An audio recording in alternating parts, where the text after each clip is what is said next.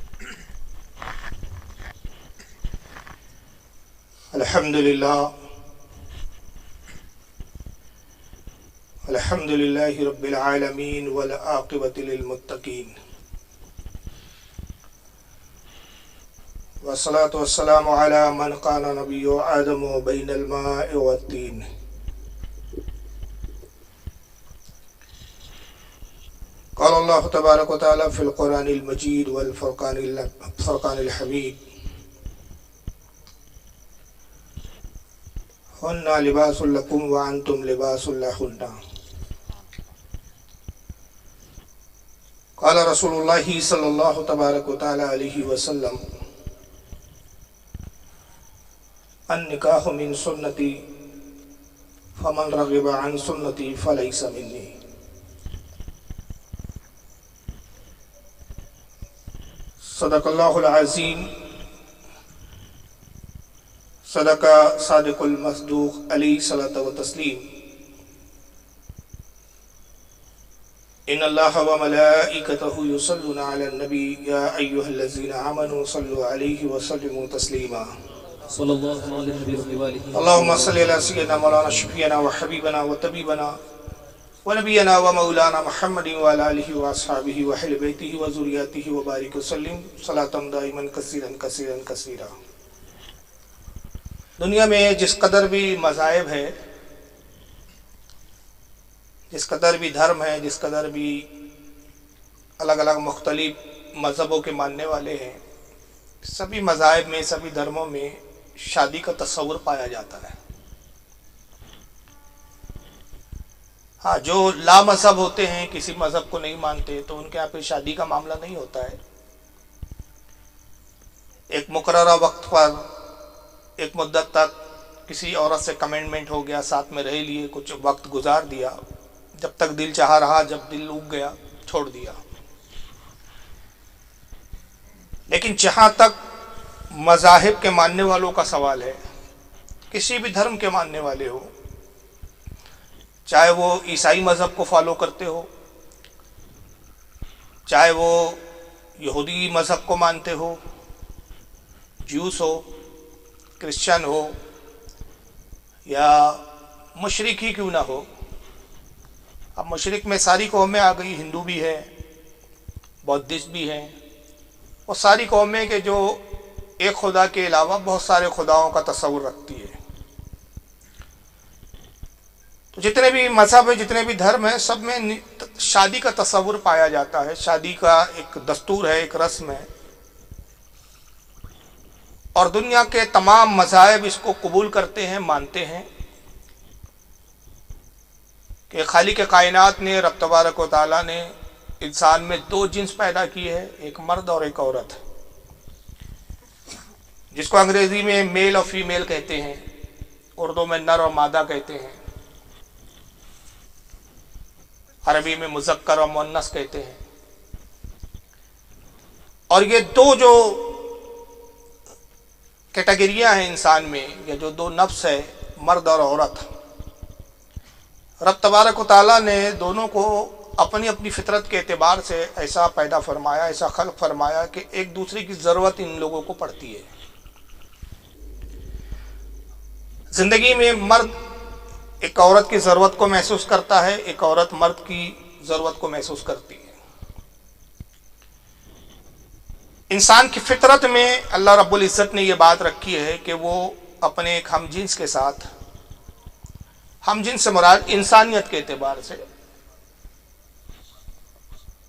और फिर इंसान में जो जिन्स है, उसमें दो मुख्तलिफ़ कैटेगरियाँ, मर्द और औरत, इनका यकजहती के साथ रहना एक दूसरे का गमखार होना, एक दूसरे के एहसास को महसूस करना यह अल्लाह रब्बुल इज़्ज़त ने इंसान की तख्लीक के साथ ही फितरत में उसके रखा है। और ये फितरत इसलिए है कि जो सबसे पहले इंसान है जिनसे सारी इंसानियत चली, जो मुंबई इंसान है, जो इंसानियत के असल है, या मरकज़ इंसानियत है, या असल इंसानियत है, या तमाम इंसानों के जो बाप है, जिन्हें हज़रत आदम सलाम कहा जाता है, जब अल्लाह ताला ने उन्हें खलक फरमाया तो उनकी फितरत में भी ये रखा गया कि जन्नत में होने के बावजूद हर नेमतें मैसर है, मगर उन्हें एक औरत की शिद्दत के साथ ज़रूरत महसूस हुई। एक मुखालिफ जिन्स की उन्हें भी ज़रूरत महसूस हुई। हालाँकि जन्नत में कोई गम नहीं है, कोई तकलीफ़ नहीं है, कोई परेशानी नहीं है, कोई फ़िक्र नहीं है।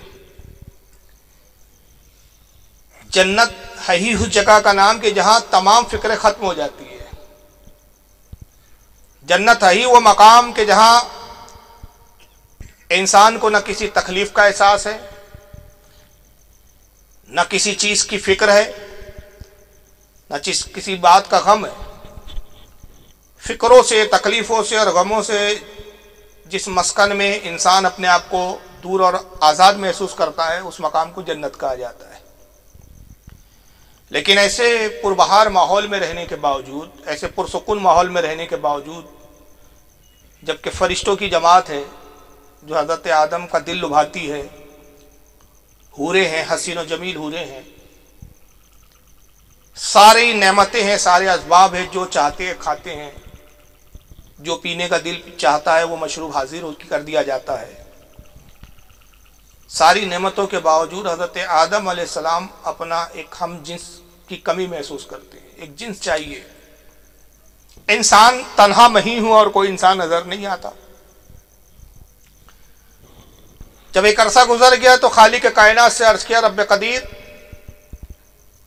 मैं महसूस करता हूँ कि मेरी तरह एक इंसान और भी हो, जिससे मैं अपनी कुछ बातें कर सकूँ, अपने ख्याल का तबादला कर सकूँ, अपने एहसास उस तक पहुँचा सकूँ, उसके ख्याल और उसके एहसास से मैं लुफानंदोज हो सकूँ। बेशक यहाँ मासूम मखलूक फरिश्तों की जमात है।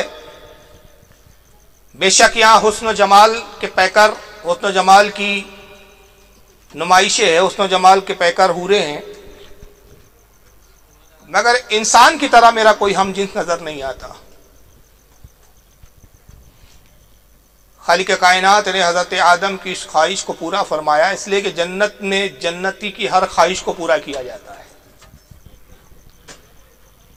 और ये बात मुतफ़ अले है, इस पर किसी का इख्तलाफ नहीं कि हज़रत आदम सलाम की बाई पसली से हज़रत हवा की तखलीक हुई।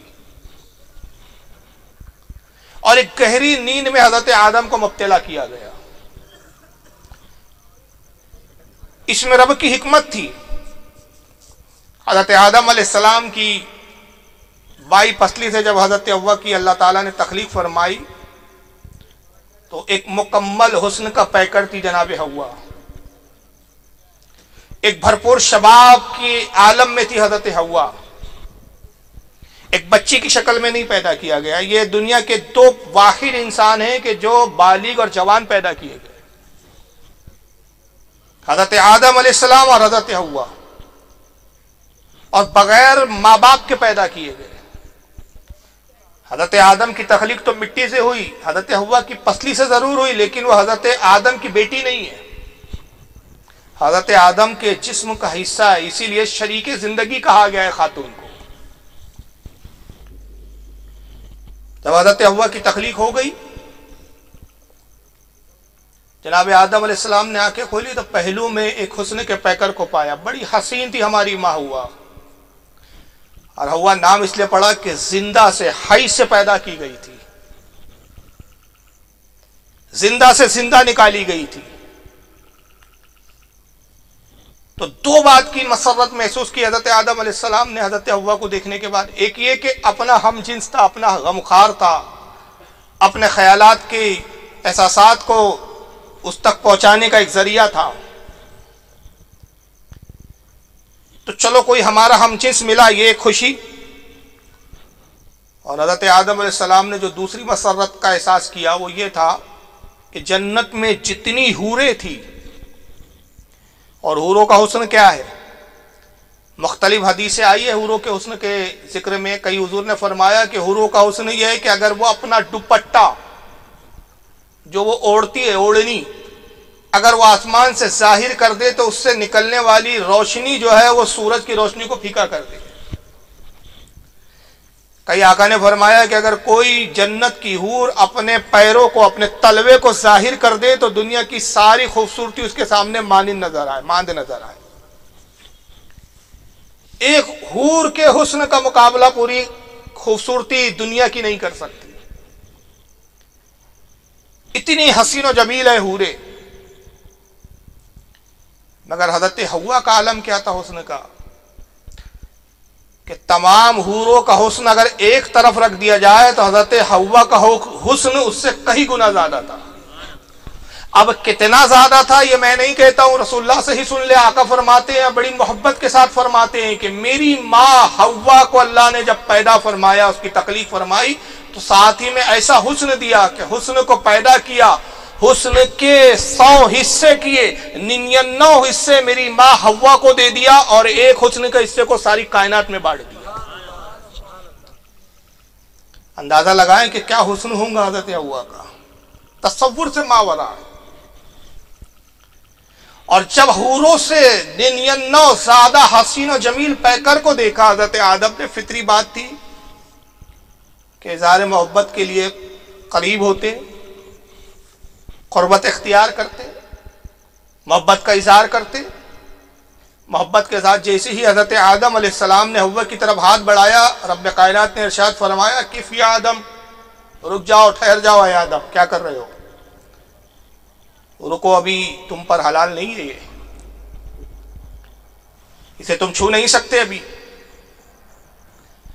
छूना भी मना किया गया है। वजह क्या थी कि हज़रत आदम सलाम पर अभी हवा हलाल क्यों नहीं है कि अभी फ़िलहाल गैर महरम है? तो पता चला कि जब गैर महरमों से इखलात हमारे बाप आदम के लिए ममानियत का दर्जा रखती थी, उन्हें रोक दिया गया तो हमें क्या हक है कि हम गैर महरमों की तरफ़ जाएँ? अर्ज़ किया खाली के कायनात क्या हुआ को मेरे लिए नहीं पैदा किया। रब ने शायद फरमाया हाँ तुम्हारे लिए ही पैदा किया गया है। रब कदीर, क्या हवा पर मेरा हक नहीं? हाँ तुम्हारा हक है। क्या ये मेरी शरीक ज़िंदगी नहीं, शरीक हयात नहीं? हाँ शरीक ज़िंदगी है, शरीक हयात है। रब कदीर, क्या मैं इसके साथ मोहब्बत का इजहार नहीं कर सकता, इसे छू नहीं सकता? का आदम नहीं, इसलिए कि जब तक निकाह ना हो जाए तुम पर हलाल नहीं। निकाह एक ऐसी शय है कि जो हरमत को हिल्लत में तब्दील कर देती है। नाजायज को जायज़ बना देती है। निकाह वो शरीयत में वाजिब अमल है। अब इससे पहले किसी का निकाह हुआ ही नहीं था। कायनात में पहला निकाह। और ये पहला निकाह कहाँ हो रहा है? जन्नत में। इसकी बुनियाद कहाँ रखी जा रही है? जन्नत में। पता चला, मियाँ बीवी का रिश्ता इतना अजीम रिश्ता है कि तमाम रिश्ते भाई बहन का रिश्ता बहन भाई का रिश्ता हत्या के माँ बाप का रिश्ता, औलाद का रिश्ता, तमाम रिश्ते दुनिया में कायम होते हैं, मगर ये वो रिश्ता है जो जन्नत में कायम किया जा रहा है। और जन्नत में इसलिए कायम किया गया कि यही वो रिश्ता है कि ये तमाम रिश्तों की असल है, ये रिश्ते कायम होते हैं तो फिर दूसरे रिश्ते बढ़ते हैं। अगर ये रिश्ते शरीयत के तकाजों के एतबार से ना हो तो फिर आने वाले रिश्ते भी हलाल नहीं करार पाए जाते। तो इर्शाद फरमाया कि जब तक निकाह ना हो जाए, अर्ज़ किया खाली का कायनात, ये निकाह क्या है? रब ने इर्शाद फरमाया कि निकाह ये है कि मैं खुतबा इर्शाद फरमाऊं और खुतबा ये कि मैं अपनी तारीफ़ व तोसीफ खुद अपने कलाम से बयान करूँ। और आदम, तुम हवा को महर दो। अर्ज़ क्या खाली क्या कायनात? महर क्या है? इर्शाद फरमाया हवा का हक, औरत का हक जो उसके शोहर पर लाजिम होता है। याद रखिए, निकाह की शर्त अजीम है महर। और इस ताल्लुक से अवाम में बड़ी गलत फहमियाँ हैं। इस ताल्लुक से अगर तफसीलात आपको जाननी है तो मेरी एक किताब है, बड़ी मशहूर मरूफ किताब है, करीन ज़िंदगी। मैं समझता हूँ, हर नौजवान बालिग ने इसका मुताल करना चाहिए, और हर शादीशुदा ने भी। उस पर बड़ी तफसीलात है। कुरान अजीब में रब ने खुद इरशाद फरमाया कि महर जो औरतों का हक है, उसको देने में जल्दी करो। और रसूलुल्लाह ने तीन किस्म के महर मुकर किए। शरीयत में तीन किस्म के महर बयान किए गए। एक है महर मुआजल एन के साथ, मीम एन जीम जीम पे तस्दीद, लाम मुआजल ये क्या है? विदायगी से पहले ही महर देना करार पा दिया जाए। निकाह हुआ, लड़की अपने वालदेन के घर से विदा हुई, मर्द और औरत एक दूसरे से खिलवत में जमा हो, उससे पहले ही मेहर अदा कर दिया जाए। यह है महर मुआजल और यह है सुन्नत। नबी करीम सल्लल्लाहु अलैहि वसल्लम ने अपनी अजवाज से जितने भी मेहर मुकर किए, यही मेहर को मुकर फरमाया। विदायगी से पहले ही मेहर को अदा फरमा देते थे। दूसरा होता है मेहर मुआजल वाव के साथ मुआजल इसमें क्या होता है? इसमें एक टाइम पीरियड मुकर कर दिया जाए। भाई, दो महीने के बाद मेहर अदा किया जाएगा, तीन महीने के बाद हम मेहर दे देंगे। या एक साल तक रुक जाइए, एक साल के बाद फुला तारीख तक मेहर दे देंगे। यानी एक टाइम पीरियड एक मोहलत ले ली जाए। और तीसरा होता है मेहर मुतलक, जिसमें टाइम पीरियड तो मुकर नहीं होता, लेकिन ये कि जैसे जैसे पैसा आता जाएगा, किस्तों में देते जाएँगे, जिसको रफ्ता रफ्ता बोलते अपनी जबान में हम अक्सर आपने निकाह की तकरीब में देखा होगा, काजी ऐलान करता है कि जनाब फुला का फुला के साथ निकाह किया जाता है मैं रफ्ता रफ्ता। तीनों सूरतों में महर देना ही है। अल्लाह ने इस्तात दिया तो सुन्नत की अदायगी करते हुए लड़की को विदायगी से पहले ही दे दो। इसमें अजर भी ज़्यादा है, सवाब भी ज़्यादा है। इस्तात कम है तो एक टाइम पीरियड मुकर कर लो। भाई, छह महीने बाद मेहर दे देंगे। और अगर उतनी भी इस्तात नहीं, बहुत कम कमाता है लड़का तो भाई ठीक है थोड़ा थोड़ा करके दे देंगे। और ये तस्वुर कर लेना कि देना ही नहीं है। रसम है साहब एक। और बहुत सारे लोगों की में ये भी गलत फहमियाँ कि मेहर ज़्यादा रखो और ज़्यादा रखो, देना तो है ही नहीं, सिर्फ़ वो क्यों है? मर्द को डराने के लिए कि तलाक देंगे तो मेहर देना पड़ेगा। तो लाखों रुपया मेहर रख रहे हैं। शरीयत इसको नापसंद करती है। रसुल्ला फरमाते हैं कि बेहतरीन औरत वो है कि जिसका हुस्न ज़्यादा हो और मेहर कमतर हो। अब कमतर से यह भी नहीं है कि बिल्कुल कुछ भी अक्सर कुछ बिरादरियों में यह है कि साहब, कितना रुपया महर? छह सौ रुपया महर। दो सौ रुपया महर यह भी नहीं है। इमाम आज़म अबू हनीफा रदी अल्लाह तुन्होंने फरमाया कि महर की मकदार जो है, कीमत जो है, या जो रकम है, वो कम अज कम दस दिरहम। इससे कम नहीं रखा जाता। सवाल ये पैदा होता है कि दस दिरहम क्यों? तो दस दिरहम यह है कि इमाम आज़म अबू हनीफा रदी अल्लाह तुमने रसुल्ला के ज़माने में जितने निकाह हुए, उन हदीसों को खंगाला, उन हदीसों की जस्तजू की, उनकी तहकीक की और फिर देखा कि हुजूर के ज़माने में सबसे कमतर महर कितना था। तो पता चला कि दस दिरहम से कम किसी का महर नहीं रखा गया। तो इमाम आज़म ने फरमाया कि महर की मकदार कम अज कम दस दिरहम। अब दस दिरहम क्या है? दस चांदी के सिक्के। अभी ज़माने में चांदी के सिक्के नहीं चलते। तो कुर्बान जाइए हमारे अहल सुन्नत पर कि उन्होंने जस्तजू की और तहकीकी के रसूलुल्लाह के ज़माने में दस दिरहम जो चांदी के सिक्के होते थे, उनका अगर वज़न किया जाए तो कितना वज़न होता है? तो इकराम ने तहकीक के बाद बताया कि दस दिरहम चांदी जो होती है, वो तकरीबन ढाई तोला 2.5 और एक तोला होता है दस ग्राम। अब दस ग्राम को आप ढाई से मल्टीप्लाई करें, जरब कर दे तो कितना आता है? कितना आएगा? पच्चीस पच्चीस ग्राम।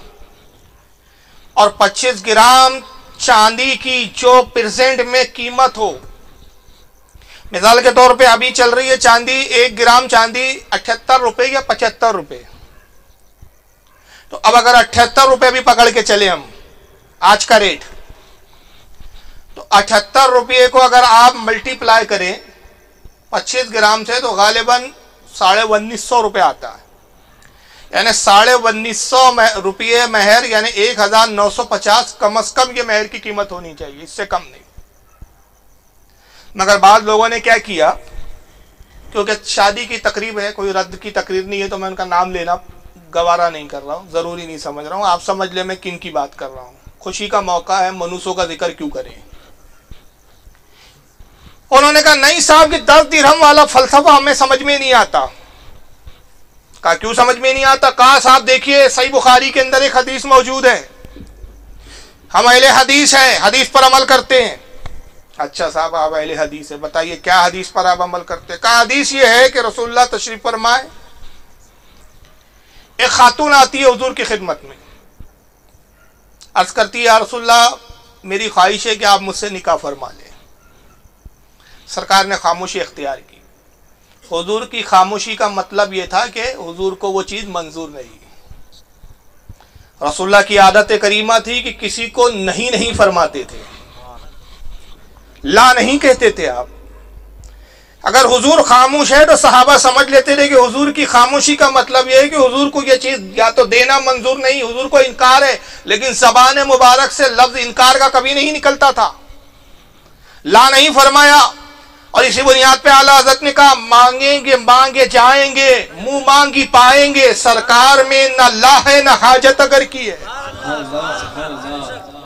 और एक दूसरे मकाम पे फरमाता है, वह, क्या जूदो करम है, शह बथा तेरा, नहीं सुनता ही नहीं, मांगने वाला तेरा। नहीं, कभी नहीं फरमाया। साहब इकराम बहुत अक्लमंद होते थे, हजूर की खामोशी को भी समझ लेते थे। नबी बोल रहे हैं तो भी समझते थे, नबी खामोश है तो भी समझ लेते थे। हजूर खामोश है, औरत समझ गई कि हजूर को ये निकाह करना मंजूर नहीं।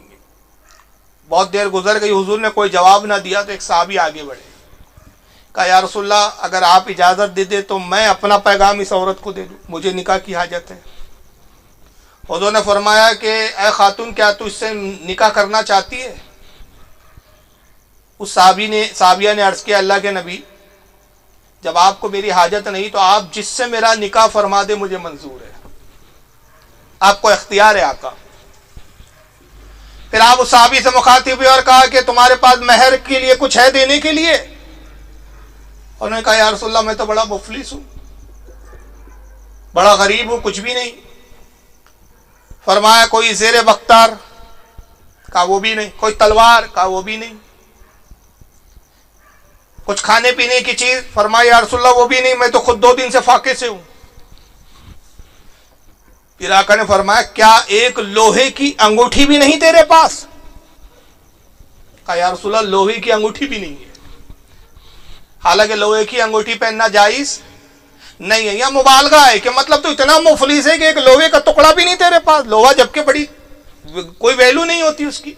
और कहा रसुल्ला उतना भी मैं इस्तात नहीं रखता कि एक लोहे की अंगूठी हो मेरे पास। हजूर कुछ देर खामोश रहे, फिर मुस्कुराए, फरमाया अच्छा कुरान की कितनी सूरतें तुझे याद है? उन्होंने कहा, यार रसुल्ला फुला फुला सूरतें याद है। फरमाया, सूरतें सुनाओ। उन्होंने सुनाया, आपने फरमाया, खातून तूने सुना, इसने क्या पढ़ा? अर्ज़ किया हाँ यार रसुल्ला इन्होंने कुरान की ये सूरतें पढ़ी। फरमाया, ये सूरतें जो तूने सुनी, इन्होंने जो पढ़ा, यही मैं मेहर के वज मुकर करता हूँ। आज से तू इसकी बीवी तो भाभी ने कहा कि साहब, ये दस दिरहम का इमाम अबू हनीफा ने कहाँ से ला लिया? कुरान भी मेहर हो सकता है। हालाँकि शारहीन इसके बारे में साफ़ वाज तौर पर फरमाते, जैसे इमाम इबन हजर असकलानी रहमत फ़तुलबारी शरुल बुखारी फरमाते कि ये रसूलुल्लाह की खसूसियात है। सरकार के खसाइश में कि हजूर जिसके लिए चाहे, जो चाहे, जैसा चाहे, हलाल फरमा दे दूसरों के लिए जायज़ नहीं। अब अगर दूसरों के लिए जायज़ कर दिया जाए तो फिर जनाब मेहर देना ही नहीं पड़े, क्योंकि हर कोई इतना तो कम से कम जानता है कि कम अज कम सूर्य फातिया पढ़ दे। तब निका में बैठे और कहा, क्या मेहर वेहर देना सूर्य फातिया सुना देता हूँ? तो दीन का मज़ाक बन जाएगा ये। अगर सूरह फातिया या कुरान की चंद सूरतें ही मेहर के लिए काफ़ी होती तो इन वाबियों से मैं पूछता हूँ जरा बताएँ, क्या रसूलुल्लाह ने किसी अमीर साहबी का भी निकाह, क्या कुरान की सूरतों के वस किया है? नहीं किया। वो मुफलिस थे। हुजूर उनकी ज़रूरत को महसूस कर रहे थे। हुजूर को इख्तियार है कि जिस पर जो चाहे हलाल फरमा दे, जिस पर जो चाहे हराम फरमा दे। और यही इख्तियार रसूल था। और हुजूर के इस इख्तियार को अगर किसी ने माना है तो वो साहबा की जात है। एक साहबी रसूल है, बात याद आ रही है। नाम है हज़रत साद। नाम तो साद था, लेकिन उनको लोग साद नहीं कहते थे, बल्कि असवत कहते थे। साद अल असवद इनका नाम किताबों में आता है। हज़रत अल्लामा इबन असीर रहमत इबन असीर अपनी किताब उसदुल गाबा के अंदर लिखते हैं। ये इतने काले थे, इतने काले थे कि हज़रत बिलाल भी इनके सामने कम से आते। हज़रत बिलाल रदी अल्लाह तु से भी ज़्यादा काले थे। जवान थे। शादी की हाजत महसूस हुई। कुछ घरों में, कुछ खानदानों में पैगाम पहुँचाया, लेकिन कोई मंजूर करने के लिए तैयार नहीं। एक तो काले, ऊपर से गरीब और मुफलिस भी। तीसरा, नसब भी कोई बहुत ज़्यादा ऊँचा नहीं था आपका। मामूली हसब और नसब से ताल्लुक था आपका। गर्मी के दिन है, दोपहर के अंदर रसूलुल्लाह सल्लल्लाहु अलैहि वसल्लम, भरी दोपहर में, जोहर के बाद, मस्जिद में कयूला की नीयत से कि मस्जिद में जाके कुछ आराम करूँ। जब आप मस्जिद में तशरीफ़ लाए तो देखा कि जनाब असवर बैठे हुए और रो रहे हैं। एक कोने में बैठे और रो रहे हैं।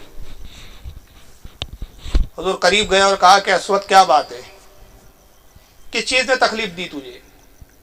किस चीज़ ने तुझे रुलाया? अर्ज़ के या रसुल्ला आपसे क्या छुपा है? और कोई गैब क्या तुमसे नेहा हो भला? जब ना खुदा ही छुपा, तुम पे करो रो दुरूद। या रसुल्ला आप सब जानते अल्लाह रसूल सब बेहतर जानते कासवर अपनी जबान से बताओ, क्या तकलीफ़ है? अर्ज़ के अल्लाह के नबी, मैं जवान हूँ। निकाह की ख्वाहिश है, औरत की हाजत महसूस करता हूँ, और डरता हूँ कि किसी गुनाह में मुबतला ना हो जाऊँ। मगर यारसुल्ला जिस घर में भी मैंने पैगाम पहुँचाया, पैगाम दिया, किसी ने मंजूर नहीं किया। एक तो मेरी से, रंग की स्याही, ऊपर से मेरी मुफलिसी, तीसरा मेरा हसब और नसब का कमतर होना, ये वो सारी चीज़ें हैं अल्लाह के नबी के जो मेरे और निकाह के दरमियान में माने हैं। नतीजा ये है कि मैं अपनी ख्वाहिशात की तकमील के लिए बेचैन हूँ और अल्लाह से पना चाहता हूँ कि किसी गुनाह में मुबतला ना हो जाओ हजूर ने कहा कि असवद, गम ना करो। मोहम्मद वसल्लम के होते हुए तू गमजदा है। तेरा आका भी मौजूद है। असवद, बता, तमाम मदीने की औरतों में, तमाम मदीने की हसीन जमील दोशीजाओं में, मदीने की कवारी लड़कियों में सबसे ज़्यादा हसीन जमील कौन है? अर्ज़ क्या अल्लाह के नबी, उमैर इबन वहब सकफ़ी, उनकी लड़की बड़ी हसीन जमील है, उसके हुस्न के बड़े चर्चे सुना है। ये एक साहब रसूल थे जिनका नाम था उमैर उमैर इबन वहब सकाफ़ी। बड़े हसीन व जमील थी इनकी लसाबजादी और इतनी खूबसूरत थी कि पूरे मदीने में इसके हुस्न के चर्चे थे।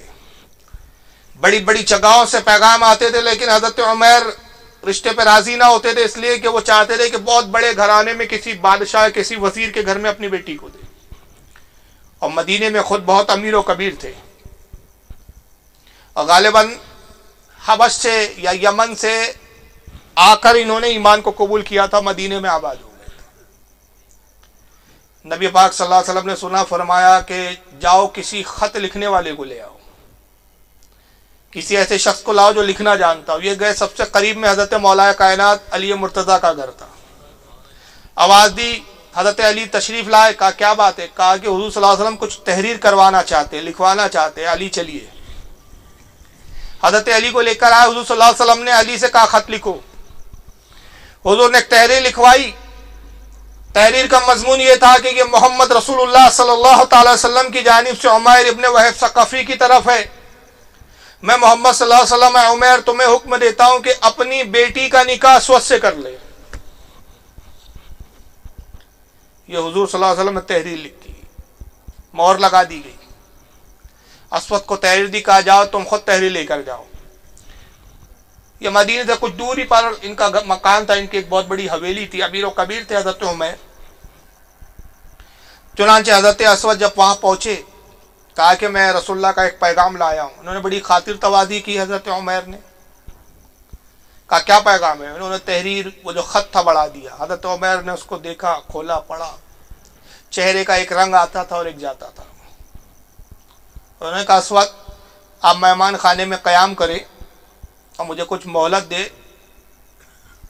इन मैं तुम्हें रात में फिर जवाब देता हूँ। उनको ठहरा दिया, खाने पीने का उनका इंतज़ाम कर दिया और आप परेशानी में घूम रहे उनका एक दोस्त था, रफ़ीक था, साथ बड़ा अज़ीज़ था। उनका मशवरे में अक्सर शामिल की करते थे हज़रत उमैर उसको। और दोस्त को बुलाया, कहा कि रसुल्ला का एक तरफ़ ख़त है और दूसरी तरफ़ मेरी बेटी के कुछ अरमान है। तुम जानते हो मेरे दोस्त, कि पूरे मदीने में मेरी साहबजादी से ज़्यादा हसीन जमील नहीं। और हुसन जमाल के साथ साथ मैंने बेहतरीन तालीम से आरास्ता किया है। मेरी साहबजादी बेहतरीन तालीम याफ्ता है। क्या मैं अपनी इतनी हसीन पढ़ी लिखी, इतनी अक्लमंद लड़की का निकाह ऐसे काले कलोटे से कर दूँ? लेकिन अगर इनकार करता हूँ तो रसुल्ला की नाफरमानी होती मैं मशूरा चाहता हूँ, बताओ क्या मशूरा है? दोस्त ने कुछ देर गौर फ़िक्र किया, कहा, देखो, असल में ये रसुल्ला वसल्लम से असवद ने कहा, उनका हुजूर ने उसकी ख्वाहिश को देखते हुए ख़त लिख दिया है। मेरी राय यह है कि तुम असवद को इनकार कर दो और फिर हुजूर की खिदमत में जाके रसुल्ला के कदमों में गिर जाओ और सारी बातें अर्ज़ करो, हुजूर तुम्हारी बात को समझेंगे, कबूल कर लेंगे। तुम्हारे उज्र को मान लेंगे। हज़रत उमैर के दिमाग में यह बात आ गई, असवद के पास आए जब रात हुई तो कहा कि असवद अगर मामला मेरा होता तो मैं तुम्हारी हर ख्वाहिश को पूरी करता। खुदा की कसम, अगर रसूलुल्लाह सल्लल्लाहु अलैहि वसल्लम अपना सर भी मांग लेते, मैं काट के दे देता। मगर मामला मेरी बेटी का है, मेरी लख्त जिगर का है, मेरी बेटी के भी कुछ अरमान है, कुछ ख्वाहिशात है, उसने भी कुछ ख्वाब देखे हैं यकीनन जब वो हसीन जमील है तो एक हसीन जमील हुस्न के पैकर नौजवान की वो ख्वाहिशमंद होंगी। अफसोस के मैं तुम जैसे शख्स से मैं अपनी बेटी का निकाह नहीं कर सकता, मुझे माफ़ कर दो। हज़रत असवद मायूस हो गए। वो ख़त को वापस लिया। अब वापस हुए। जब मदीने से उनके घर की तरफ़ रवाना हुए थे, घोड़े पे सवार थे, बड़ी तेज़ी से दौड़ते हुए गए थे, घोड़ा दौड़ाते हुए। बड़ी खुशी के साथ गए थे, मगर जब वापस आ रहे हैं तो बड़े गमजदा है। घोड़े पे सवार होने की बजाय घोड़े की लगाम पकड़े हुए और पैदल आहिस्ता आहिस्ता गम के आलम में चल रहे हैं। एक उम्मीद की किरण यही थी। यही एक उम्मीद थी कि हुजूर सल्लल्लाहु अलैहि वसल्लम ने हुक्म दिया। उन्हें यकीन था कि उमैर इसका इनकार नहीं करेंगे और मेरा निकाह हो जाएगा। लेकिन अफसोस के वो उम्मीद भी जाती रही। उसी गम में आ रहे थे कि अचानक देखा कि पीछे से एक नकाबपोश घोड़ सवार तेज़ी से दौड़ता हुआ आ रहा एक गर्दो गुबार उड़ते हुए नज़र आई। आपने पलट कर देखा और रुक गए। घोड़सवार नकाब पोश करीब आता है, कहा था, कहता है कि आप ही असवद है। कहा, जी, मैं ही असवद हूँ। कहा असलम वालेकुम। असलम कहा, फ़िक्र ना कीजिए, आप जाइए, शादी की तैयारियाँ कीजिए। कहा कि, तुम कौन हो? और किससे शादी की बात कर रहे हो? कहा, वही दोशीदा जिससे आप निकाह के ख्वाहिशमंद थे, उसी से आपका निकाह होगा आप जाइए शादी की तैयारी कीजिए। और खुद रसूलुल्लाह सल्लल्लाहु अलैहि वसल्लम जो वक्त और जो दिन मुतयन कर ले, उसी वक्त तशरीफ़ लाइएगा, आपका निकाह उमेर की बेटी से हो जाएगा। कहा है नौजवान, तुम कौन हो? नकाबपोश तुम कौन हो? अपने चेहरे को पर्दे में छुपाया हुआ है। अपना तारू पेश करो, तुम कौन हो जो इतने ज़िम्मेदारी के साथ, इतने एतमाद के साथ ये जुमले कह रहे हो? जैसी उस घोड़सवार ने पर्दा हटाया तो वो खुद हज़रत उमेर की साहबजादी थी। असवद ने देखा हैरान हो गए, कहा, आप कौन है? आप तो खातून है। कहा, मैं वही उमेर की बेटी हूँ। मुझे मेरी कनीज ने बताया कि आप रसुल्ला का पैगाम लेकर आए। अब मेरे वालिद ने मेरी मोहब्बत में इस पैगाम को इनकार कर दिया। वो एक बाप का दिल था। वो एक बाप का फैसला था कि बाप पर रसुल्ला के हुक्म के जगह बेटी की मोहब्बत गालिब आ गई। लेकिन सुनो, अल्लाह के नबी सल्लल्लाहु अलैहि वसल्लम ने हमें ईमान की दौलत से नवाजा है। हुजूर के कदमों पे सब कुछ निसार है। अगर रसूलुल्लाह सल्लल्लाहु अलैहि वसल्लम किसी गुलाम, अदना गुलाम का निकाह मेरे साथ कर देते, मैं उस पर भी राज़ी हो जाती। इस वक्त आप तो एक गुलाम से बेहतर हो कि एक आज़ाद हो। जाओ, रसूलुल्लाह को कहना कि मैं तैयार हूँ और रहा जहाँ तक मेरे वालिद का मामला तो इनशाला मैं अपने वालिद को भी मना दूँगी। जब शरीयत ने बालिक को निकाह की इजाज़त दी है तो वालिद इनकार नहीं कर सकते। हज़रत असवद बड़ी खुशी खुशी आए। हजूर को सारा माजरा सुनाया। अल्लाह के नबी सल्लल्लाहु अलैहि वसल्लम ने जब ये सारी बात सुनी का असवद, तुम्हें मुबारक हो कि जो तुम चाहते थे वो हुआ। अच्छा ये बताओ कि तुम्हारे पास असासा क्या है? क्या चीज़ें हैं तुम्हारे पास? अर्ज़ किया कि अल्लाह के नबी, मैं तो बड़ा मुफलिस हूँ। इस वक्त मेरे घर में सिर्फ़ मेरे पास एक तलवार है। एक जेर बख्तर है। उसके अलावा मेरे पास कोई असासा नहीं, कोई मालो दौलत नहीं। उन्होंने फरमाया, असवद जाओ, बाज़ार में अपनी तलवार और अपने इस जेर बख्तर को गिरवी रख दो और इससे जो कुछ रकम हासिल हो, इससे अपने लिए एक जोड़ा खरीद लो, ताकि तुम उसे पहनकर दूल्हा बनो। अपनी एक होने वाली बीवी के लिए एक जोड़ा खरीद लो और कुछ वलीमे के लिए, कुछ अशिया खरीदने के लिए कुछ रकम हासिल कर लो। और उसके बाद फिर तैयारियों में तुम जुट जाओ। जब तुम इस तैयारी के साथ आओ तो इनशाला फिर मैं तुम्हारा निकाह उमेर की बेटी से पढ़ा दूँगा। जनाब असवद जाते हैं एक दुकान पर। हथियारों की दुकान थी। तलवार और बख्तर दी और कहा कि मैं चाहता हूँ कि इसको गिरवी रखकर आप कुछ रकम दे दे। अल्लाह ने चाहा तो रकम आएँगी तो मैं अपनी हथियार को छुड़ा लूँगा। अभी सौदा हो ही रहा था कि एक कानों में आवाज़ गूंजती है। हज़रत बिलाल रदी अल्लाह तु बाजारों से घूम रहे हैं। और बाजारों में घूमते हुए बात लगाते हैं कि लोगों, जिहाद की तरफ़ पलटो। ऐ लोगों, जिहाद की तरफ़ आओ। या माशरतमिन जिहाद।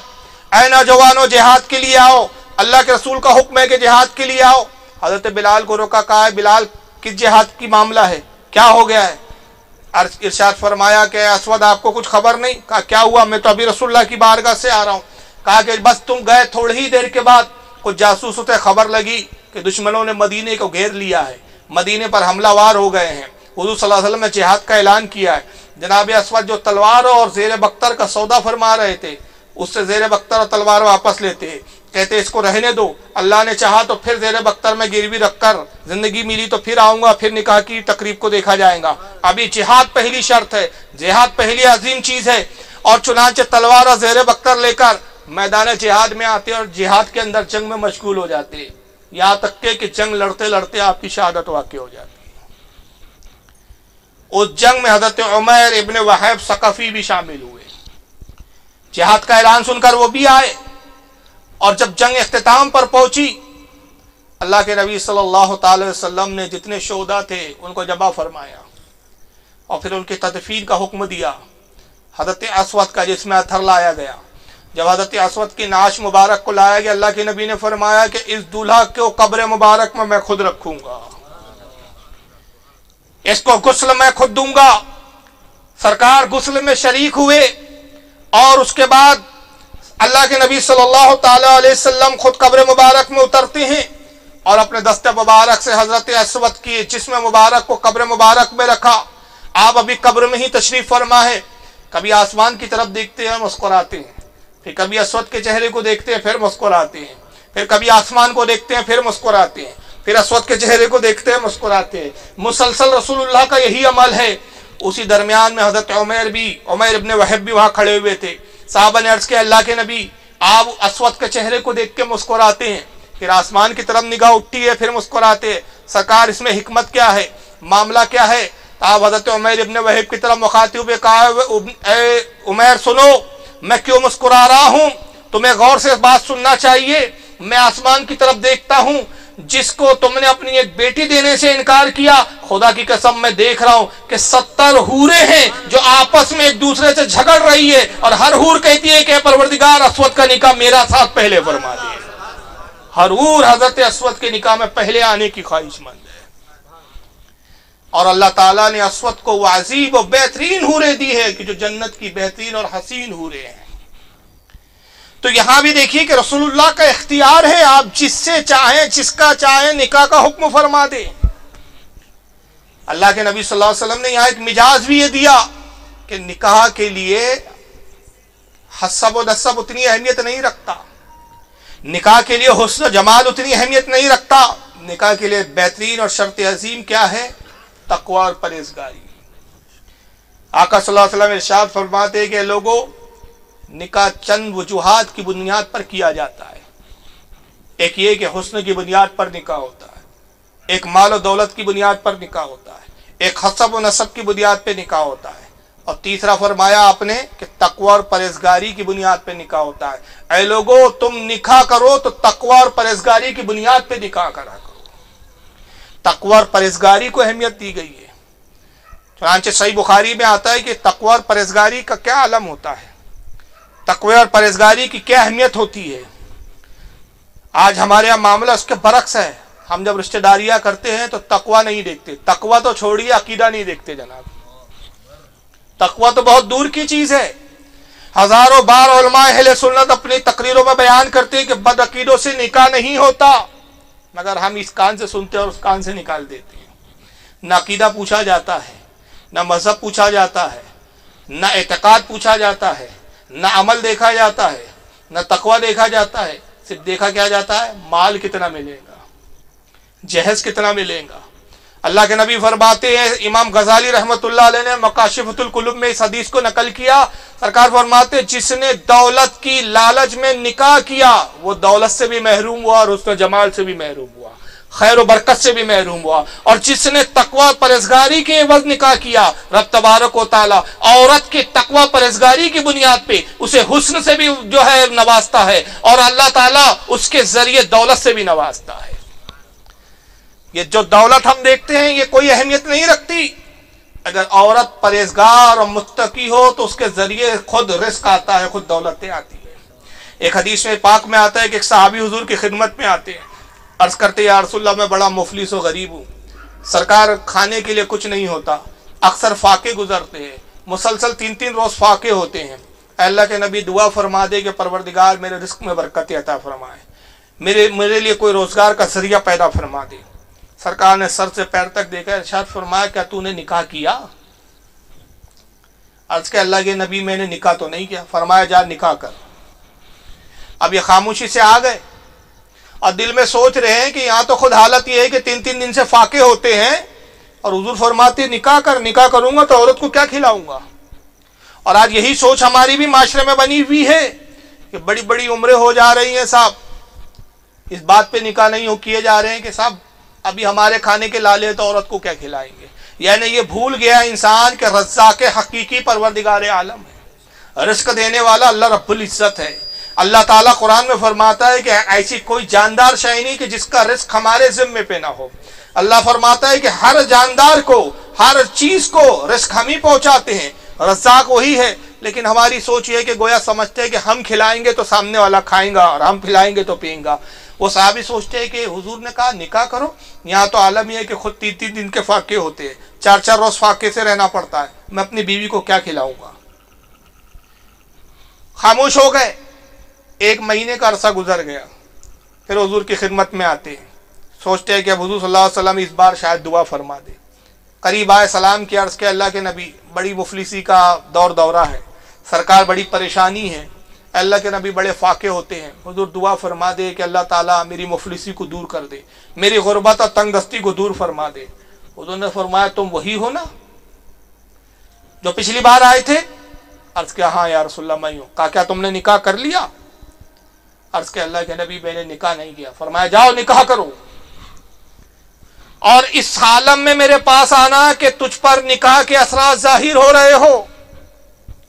ये साहबी गए फिर वही ख्याल आता है फिर वही सोचते। हैं कि अजीब बात है कि अलैहि वसल्लम फिर निकाह का हुक्म फरमाते हैं। सरकार इस तरफ़ तवज्जो क्यों नहीं कर रहे हैं कि मैं खुद फाके से हूँ, जब मैं खुद फाका करता हूँ तो अपनी बीवी को क्या खिलाऊँगा? फिर बच्चे हुए तो बच्चों की परवरिश कैसे करूँगा? फिर एक महीने का अरसा गुजर गया, हुजूर की खिदमत में नहीं आए। एक महीने के बाद सोचते कि हुजूर की बारगाह में जाऊँगा और अब हुजूर को इस अंदाज में कहूँगा कि यारसुल्ला मैं तो खुद फाके से हूँ। अपनी कुछ दलीलें रखूँगा, अपनी कुछ बात हुजूर की बारगाह में पेश करूँगा, शायद उन बातों से हुजूर मुतमिन हो जाए और फिर मेरे लिए दुआ कर दें। इस इरादे से हजूर की खिदमत में आए, अर्ज़ के अल्लाह के नबी, दुआ फरमा दे कि अल्लाह मेरे रिस्क में बरकत अता फरमाए, मेरी मुफलिसी को दूर कर दे। सरकार फरमाते, क्या तूने निकाह नहीं किया? अर्ज़ के अल्लाह के नबी, मैं निकाह कैसे कर सकता हूँ? या रसुल्ला जब मैं खुद खाने के लिए मोहताज हूँ तो अपनी बीवी को क्या खिलाऊँगा? सरकार, जब हालत यह है कि मैं खुद फाका कशी का शिकार हूँ तो अपनी बीवी को क्या दूँगा? हजूर जलाल में आते फरमाते शख्स, क्या तू मोमिन है कि मुनाफिक? क्या तू मुनाफिक है या मोमिन? और उसके अल्लाह के नबी, खुदा की कसम, में मुनाफिकों में से नहीं। फरमाया, अब जा, इस आलम में आना के निकाह के असरात तुझ पर हो, वरना अपनी शक्ल उसके बाद न दिखाना। अब हजूर ने इस बार बड़े सख्त लहजे में फरमाया था, जलाल और एहताब के साथ फरमाया था वो समझ गए कि अब अगर मैंने हुजूर की बात को नहीं माना और किसी भी हालत में निकाह ना किया तो अब ये ना हो कि मेरा नाम मुनाफिकीन में ना लिख दिया जाए। ये ना हो कि अल्लाह ताला अपने महबूब पर वही भेजे और मेरे मुतालिक कोई हुक्म ना सादिर हो जाए कि नबी की बात ना मानी और यह मुनाफिकों की फहरिस्त में इसका शुमार कर दिया गया। वो साहबी लड़ते हुए, दड़ते हुए जाते हैं और फिर उन्होंने कुछ घरों में पैगाम देना शुरू किया। अल्लाह के फजल करम से ये हुआ कि एक जगह इनकी रिश्ता तय हो जाता है और फिर इन्होंने निकाह फरमा लिया। जैसे ही घर में औरत आई, अब एक ही हफ़्ते में आलम यह हो गया कि खुद भी खाते हैं और खाने के बाद इतना बचा लेते हैं कि पड़ोसी को भी तोहफे में खाने पेश करते हैं। हजूर की खिदमत में आए और अर्ज़ उसके अल्लाह के नबी, मैंने निकाह कर लिया। हजूर, अब दुआ फरमा दे, फरमाया, निकाह किया, बताओ क्या हालत है? क्या निकाह के बाद तुझ पर फाका गुजरा? क्या निकाह करने के बाद तू भूखा रहा? अर्ज़ के अल्लाह के नबी, खुदा की कसम उस रब कायनात की इज़्ज़त जलाल की कसम जिसने आपको हक के साथ मबूस किया, सरकार जिस तारीख से, जिस दिन से निकाह हुआ, कोई दिन ऐसा नहीं गुजरा कि हम भूखे रहे हो। हम मियाँ बीवी पेट भर खाते भी है, बल्कि बाज अवकात इतना बच जाता है कि अपने पड़ोसी को भी दे दिया करते हैं। हजूर ने मुस्कुरा के फरमाया कि मेरे साहबी, सुनो, खुदा की कसम तेरी खैर बरकत तेरी बीवी में थी, तू खुद अपनी खैर बरकत को रोके हुए था। तो जब औरत घर पर आती है तो खैर बरकतें भी लाती है। मगर एक दूसरा पहलू भी इस्लाम में बताया कि जहाँ औरतें खैर बरकत का सबब भी होती है, बाद औरतें ऐसी होती है कि जो मनुष्यत का भी सबब होती है। अब आप सोचेंगे, यार इस्लाम में तो मनुष्यत नहीं है। यकीनन इस्लाम में कोई नहुसत का तस्वुर नहीं है। इस्लाम में कोई मनुष्यत नहीं है। इस्लाम इन चीज़ों का कायल नहीं है कि साहब दूध गिर गया तो आज कुछ बुरा होने वाला है। कौवे ने काय काय किया तो साहब आज कुछ खराब होने वाला है। बिल्ली रास्ता काट के चलेगी तो साहब अब कुछ ना कुछ बुरा होगा। बल्कि ये सब बदशुगुनिया गैरों का शेवा है। और अल्लाह के नबी ने तो यहाँ तक फरमाया कि जिसने बदशुगुनी ली, उसने शिरक किया, उसने शिरक किया। यहाँ शिरक से मराद शिरक असगर है। यानी उसने छोटे किस्म का शिरक किया। अल्लाह के नबी फरमाते कि हमारे इस्लाम में ना कोई बदफेली है, न बदशगुनी है। अलबत्ता नेक फाल ज़रूर है। बदशगुनी और नेकफाल में फ़र्क क्या होता है? बदशगुनी है कि आप जा रहे हैं, बिल्ली ने रास्ता काट लिया, अब आप पलट आए यार, नहीं, वो काम ही नहीं हुआ। क्यों बिल्ली ने रास्ता काट दिया? इस पर किसी ने एक लतीफ़ा बनाया कि एक मरतबा एक बिल्ली रास्ते में खड़ी हुई थी। दूसरी बिल्ली आई, कहा, क्या बात है भाई, तू जा रही थी, रुक क्यों गई? कहा, देखती नहीं कि इंसान ने मेरा रास्ता काट लिया भाई, अगर उसके रास्ता काटने से आपके काम बिगड़ सकते हैं तो आपके रास्ता काटने से उसके काम क्यों नहीं बिगड़ सकते? तो किसी के रास्ते काटने से कोई काम बिगड़ते नहीं है। कांच के गिलास में दूध लाए, गिर गया। अरे साथ दूध गिर गया, कुछ ना कुछ नुकसान होगा। तो ये गैरों का मामला है, हमारा मामला नहीं। सही बुखारी के अंदर हदीस है कि हजू सल्लम फजर की नमाज़ में तशरीफ़ लाए। साहबा कहते रात में बारिश हुई थी। उन्होंने फरमाया कि लोगों, कल रात में बारिश हुई साहबा ने के हाँ अल्लाह के नबी, कल रात में बारिश हुई। फरमाया, कल रात में बारिश हुई, और कुछ लोगों ने सुबह इस आलम में की कि वो मोमिन थे, और कुछ लोगों ने सुबह इस आलम में की कि वो इस्लाम से खारिज होकर काफिर हो चुके थे। साहबा ने अर्ज़ किया अल्लाह के नबी, ये कैसे हुआ? एक ही रात में कुछ काफिर हो गए और कुछ मोमिन रह गए। इरशाद फरमाया हाँ कल रात बारिश हुई, जिन्होंने ये कहा कि बारिश अल्लाह ने बरसाई, वो मोमिन हुए और जिन्होंने कहा, फला नकित्तर की वजह से बारिश हुई, फला गिरे फला सितारा यहाँ आया, वहाँ आया तो बारिश हुई। तो उसने अल्लाह के साथ कुफर किया।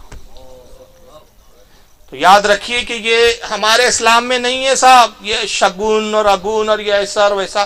लेकिन नेक फाल है। नेक फाल क्या है कि मिसाल के तौर पे आप किसी काम के लिए जा रहे हैं या कोई काम का इरादा कर रहे हैं, इत्तेफाक से कोई मौलाना साहब आ गए तो आपने कहा, देखो यार, हज़रत आ गए, हज़रत से दुआ भी करवा दो। तो इस तरह का अमल या हज़रत के आने से ये उम्मीद लेना, भाई, हज़रत आ गए मतलब इंशाल्लाह ये काम में बरकत होंगी। तो ये शरीयत में जायज़ है। अच्छी चीज़ें लेना जायज़ है, बुरी चीज़ों का तस्वुर इस्लाम में नाजायज़ है। तो इस्लाम में ये चीज़ नहीं। तो औरत के बारे में भी आया कि हुजूर सल्लल्लाहु अलैहि वसल्लम फरमाते हैं कि अगर नहुसत होती है तो तीन चीज़ों में हो सकती है। ये भी बुखारी और मुस्लिम की हदीस है।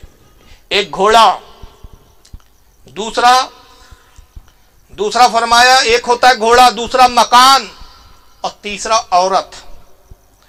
इसकी शरा बयान करते हुए मुफसरीन फरमाते शारीन फरमाते हैं कि घोड़े की नहुसत यह है कि मुजोर हो। बेलगाम हो जाए। घर की नौसत यह है कि तंग हो। छोटा हो के रहने वालों के लिए परेशानी हो उसमें। और औरत की नौसत यह है कि बद अखलाक हो।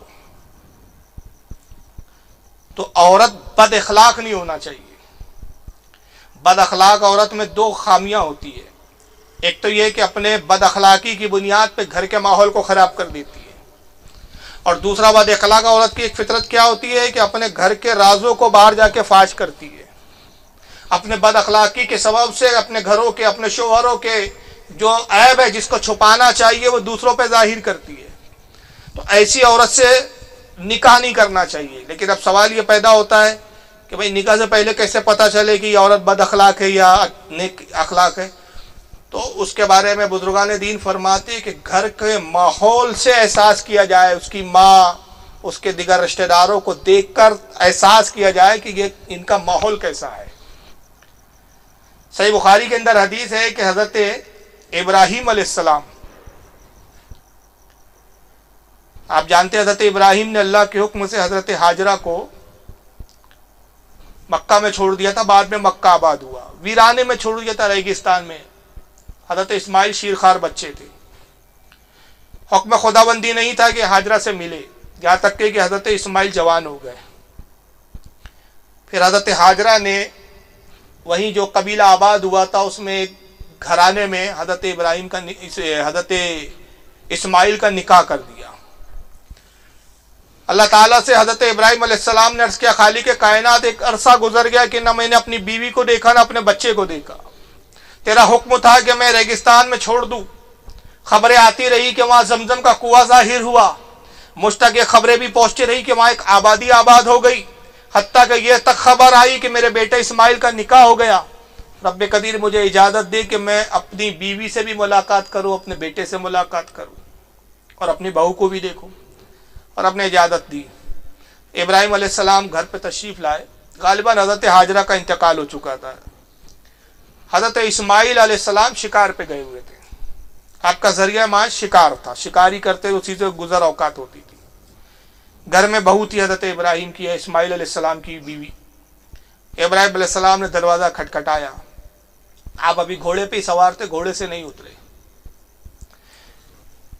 खातून ने इस्माइल सलाम की बीवी ने दरवाज़ा खोला। देखा, एक बुज़ुर्ग नज़र आ रहे हसीन चेहरा है उसमें जमाल है। चेहरे से नूर टपकता है। घोड़े पे सवार है। कहा, आप कौन है बुजुर्गवार कहा, क्या घर में इस्माइल है? मैं इस्माइल से मिलने आया हूँ। मैं इस्माइल का बड़ा करीबी हूँ। ये नहीं बताया मैं बाप हूँ उनका। कहा, मैं इस्माइल का बड़ा करीबी हूँ। इस्माइल से मुलाकात की गरज से आया हूँ। क्या इस्माइल घर पर है? उन्होंने कहा कि, नहीं, इस्माइल घर पर नहीं है। ये भी नहीं कहती है कि आप घोड़े से उतरिए तशीफ लाइए, बैठिए खड़े खड़े ही बात कर रही अच्छा ये बताओ तुम्हारी गुजर औकात कैसे होती है? क्या बताए बड़ी मुश्किल से गुजर औकात होती है। मेरे शोहर इस्माइल जो है, वो बिल्कुल सुस्त वाक़ हुए हैं। उनका आलम यह है कि दिल चाहता तो शिकार करते हैं, नहीं तो घर में ही बैठे रहते हैं। अब क्या बताऊँ कि मैं तो अपने शोहर से ही परेशान हूँ। मैं तो परेशान हूँ, तंग आ गई हूँ। एक दौर था कि मैं अपने माँ बाप के घर में बड़ी खुशहाल थी। जब से इस्माइल से निकाह हुआ है, खुदा की कसम, मैंने कोई दिन खुशी का नहीं देखा। हज़रत इब्राहिम ने सुना अपने घोड़ा पलटाया, जाने लगे। उसने कहा कि, ए बुजुर्गवार, इस्माइल मेरे शोहर के लिए कोई पैगाम हो तो दीजिए। कहा, एक पैगाम है, जब इस्माइल आए तो कहना कि एक बुज़ुर्ग आए थे, और उन्होंने कहा कि घर की चौकट को बदल दो। घर की चौकट को बदल दो। ये कह के हज़रत इब्राहिम चले गए। हज़रत इस्माइल सलाम जैसे घर में दाखिल हुए, बेसाख्ता फरमाते हैं, ये तो मेरे वालिद इब्राहिम की खुशबू महसूस हो रही है। ऐन एक वक्त बता, क्या कोई बुज़ुर्ग आए थे? कहा एक बुज़ुर्ग आए थे? कहा वो मेरे वालिद इब्राहिम थे? ये बताओ, कुछ उन्होंने पैगाम दिया, कुछ कहा कहा बड़ी अजीब बात कही, उन्होंने कहा चौकट बदल दो। कहा, क्या कहा? फिर कहो। कहा, उन्होंने कहा कि घर की चौकट बदल देना। कहा, सोन, तुझ पर तलाक तलाक तलाक। ये हैरान हो गई, ये क्या बात हुई? बहरहाल तलाक दिया, उसको छोड़ दिया। कुछ अरसे के बाद हज़रत इस्माईल सलाम ने दूसरा निकाह किया। फिर हज़रत इब्राहिम सलाम एक वक्त आया कि अल्लाह से अर्ज़ करते खाली के कायनात, अपने बेटे से मैं मिलना चाहता हूँ। सुना है कि दूसरा निकाह किया है मेरे बेटे इसमाइल ने। मैं चाहता हूँ कि अपनी बहू को देखूँ, अपने बेटे को देखूँ। रब ने इजाज़त दी। फिर तशरीफ़ लाए, इत्तेफाक से इस बार भी हज़रत इस्माइल शिकार पे गए हुए थे, घर पे थे नहीं। आपने दरवाज़ा खटखटाया, फिर हज़रत इस्माइल की दूसरी बीवी बाहर निकलती है। दरवाज़ा खोला, सलाम किया, कहा बुजुर्गवार, कहिए, कौन है आप? कहा, मैं इस्माइल का बड़ा करीबी हूँ, क्या इस्माइल घर पर है? कहा, वो घर पे तो नहीं है, आप मेरे वालिद की जगह है। आइए तशरीफ़ रखिए, बड़े लंबे सफ़र से आए होंगे आप। आराम कर लीजिए, जब तक आप आराम करेंगे, तब तक मेरे शोहर इस्माइल भी आ जाएँगे। हज़रत इब्राहिम बड़े खुश हुए, घोड़े से उतरे। हज़रत इब्राहिम के उसने पैरों को धोया, हाथ मुँह धुलाने के लिए पानी लाया, फिर आपको दूध का एक प्याला पेश किया, बिस्तर लगाया, हज़रत इब्राहिम लेट गए, कहा अच्छा ये बताओ, तुम्हारी गुजर अवकात कैसे होती है? कहा, अल्लाह का करम है, वो रजाक है, वो चाहता है, जब चाहता है, मैं रिस्क देता है, जब चाहता है, रिस्क से महरूम रखता है। हम हर हाल में उसका शुक्र अदा करते हैं। हम कभी नाशुक्री नहीं करते उसकी मर्ज़ी है कि जब वो चाहता है हमें अच्छी नेमतें खिलाता है और जब चाहता है हमें रोज़े की कैफियतों से गुजारता है। जब मिलता है तो हम खा लेते, शुक्र बजा लाते, नहीं मिलता तो हम उसकी रजा के लिए रोजा रख लेते हैं। हम हर हाल में उसकी रजा और उसके कामों से हम राज़ी है। हज़रत इब्राहिम मुस्कुराए, उसके बाद कहा अच्छा अब मुझे इजाज़त दो। कहा, बेहतर होता कि आप मेरे शुगर इस्माइल से मुलाकात करते। कहा, अल्लाह ने चाहा तो फिर मुलाकात होंगी। आप घोड़े पे बैठे, कहा कि कुछ पैगाम हो, कुछ कहना हो तो बता दे। कहा, अब इस्माइल आए तो कहना, घर की चौकट को बरकरार रखे। हज़रत इस्माइल सलाम आते हैं और जैसे ही घर में दाखिल हुए, बेसाख्ता फरमाते हैं, मेरे वालिद इब्राहिम की खुशबू महसूस होती है। क्या कोई बुज़ुर्ग आए थे कहा हाँ एक बुज़ुर्ग आए थे। क्या वो आपके वालिद थे? कहा हाँ वो मेरे वालिद इब्राहिम थे। कहती, हाय अफसोस, काश मुझे मालूम होता कि वो मेरे ससुर है, वालिद है। तो मैं उनकी और खिदमत करती और उनकी खातिर तवाज़े करती, लेकिन मुझसे जो कुछ बना मैंने उनकी खिदमत की। कहा अच्छा बताओ, क्या कोई पैगाम दिया? कहा हाँ उन्होंने एक पैगाम दिया और पैगाम में ये बड़ी अजीब बात कही जिसको मैं समझ ना सकी। वो ये कि घर की चौकट को बरकरार रखे। हज़रत इसमाइल मुस्कुराए, कहा कि, उस चौकट से मुराद तू है और मेरे वालिद ने तुझे पसंद किया है। यही हज़रत इस्माइल की वो अहलिया है जो नबी पाक की जद्द करीमा है। तो पता चला कि औरत का अखलाक बेहतरीन हो तो घराने भी बेहतरीन होते हैं, माहौल भी बेहतरीन होता है। और अगर एक औरत का अखलाक बिगड़ जाए, पूरे घर का माशरा बिगड़ जाता है, पूरा माहौल बिगड़ जाता है। इसलिए अल्लाह के नबी ने फरमाया कि हुस्नों को बाद में देखो, दौलत को बाद में देखो, पहले क्या देखो? तकवा और परहेजगारी। जब औरतें तकवा परहेजगारी होती हैं तो औलादे भी नेक और साले होती है। जब औलादें नेक तब बनती हैं। हम तो चाहते हैं कि औलाद तो बस सलीका बने, मगर खुद ये नहीं देखते कि हम में कितना बाप में सलीका है और माँ में कितना सलीका है। जब माएँ नेक होती हैं, बाप नेक होते हैं तो बच्चे भी नेक पैदा होते हैं। एक बड़ा मशहूर वाक़ आपने सुना होगा कि हज़रत साल अब अबू साल एक बुज़ुर्ग गुजरे हैं। कौन है ये? सरकार गौ से पाक के वालिद। क्या परहेजगारी का आलम था? रोज़ा रखा करते थे। दिन में रोज़े रखते। जिहाद का मौका मिलता, जिहाद में शिरकत करते, रातों को नमाजों में गुजार दिया करते थे। बड़े कनात पसंद थे, जो मिल जाता अल्लाह का शुक्र अदा करते। एक मरतबा कई दिन से मुसलसल रोज़े रख रहे थे। इफ्तार के वक्त कोई ख़ास चीज़ ना मिलती, पानी से इफ्तार कर लेते। शहरी का वक्त होता, खाने के लिए कुछ ना मिलता, पानी पी के शहरी रख कर लेते। इफ्तार का मौका आया, एक दरिया के किनारे आप बैठे हुए हैं। और इस इंतज़ार में कि बस जैसे इफ्तार का वक्त हो तो पानी पी के इफ्तार कर लो। तभी देखते हैं कि दरिया में एक सेब बहता हुआ आ रहा है। हज़रत अबू साले जिनको जंगी दोस्त भी कहा जाता था, इसलिए कि जंग से बड़ी मोहब्बत थी उनको। हज़रत शेख अबू साले ने जब उस सेब को देखा, दिल में ख्याल आया कि अल्लाह ताला ने मेरे लिए भेजा है। हाथ बढ़ाया, उस सेब को लिया और उसी से इफ्तार कर लिया। इफ्तार करके नमाज़ से फारिग हुए, अचानक दिल में ख्याल आया, ज़मीन ने पुकार के कहा, अबू साले वो सेब खा तो लिया। मगर ये मालूम करने की कोशिश की कि सेब आया कहाँ से? किसका सेब था? तुमने सोचा कि अल्लाह की तरफ़ से आया?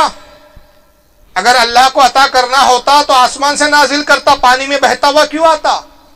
जब ये पानी में बहता हुआ आया, यकीनन ये किसी न किसी के बाग का सेब है जो दरख्त से टूटकर पानी पे गिर के बहते हुए आया है। जिसके भी बाग का ये सेब है, तुमने उसकी इजाज़त के बगैर ये सेब खाया है।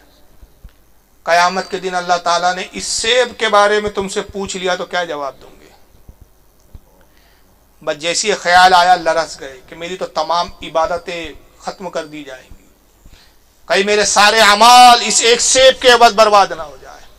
चुनाचे उसी दरिया की मुखालिफ सिंत में आप चलते हुए आगे बढ़ते हैं। जब दरिया के उसी मुखालिफ सिंत बढ़ते बढ़ते पहुँचे, देखा कि एक बाग है सेब का। बहुत सारे दरख्त जो है वो दरिया के किनारे लगे हुए और एक दरख्त की शाखें पानी की तरफ़ झुकी हुई है। आपने उस दरख्त को देखा और उसके सेब और फल को देखा तो अंदाज़ा लगा लिया, यकीनन इसी दरख्त से फल टूटा है। फिर आप दूसरी सिम होते हुए उस बाग में आते और वहाँ से लोगों से पूछना शुरू किया लोगों, बताओ ये बाग किसका है?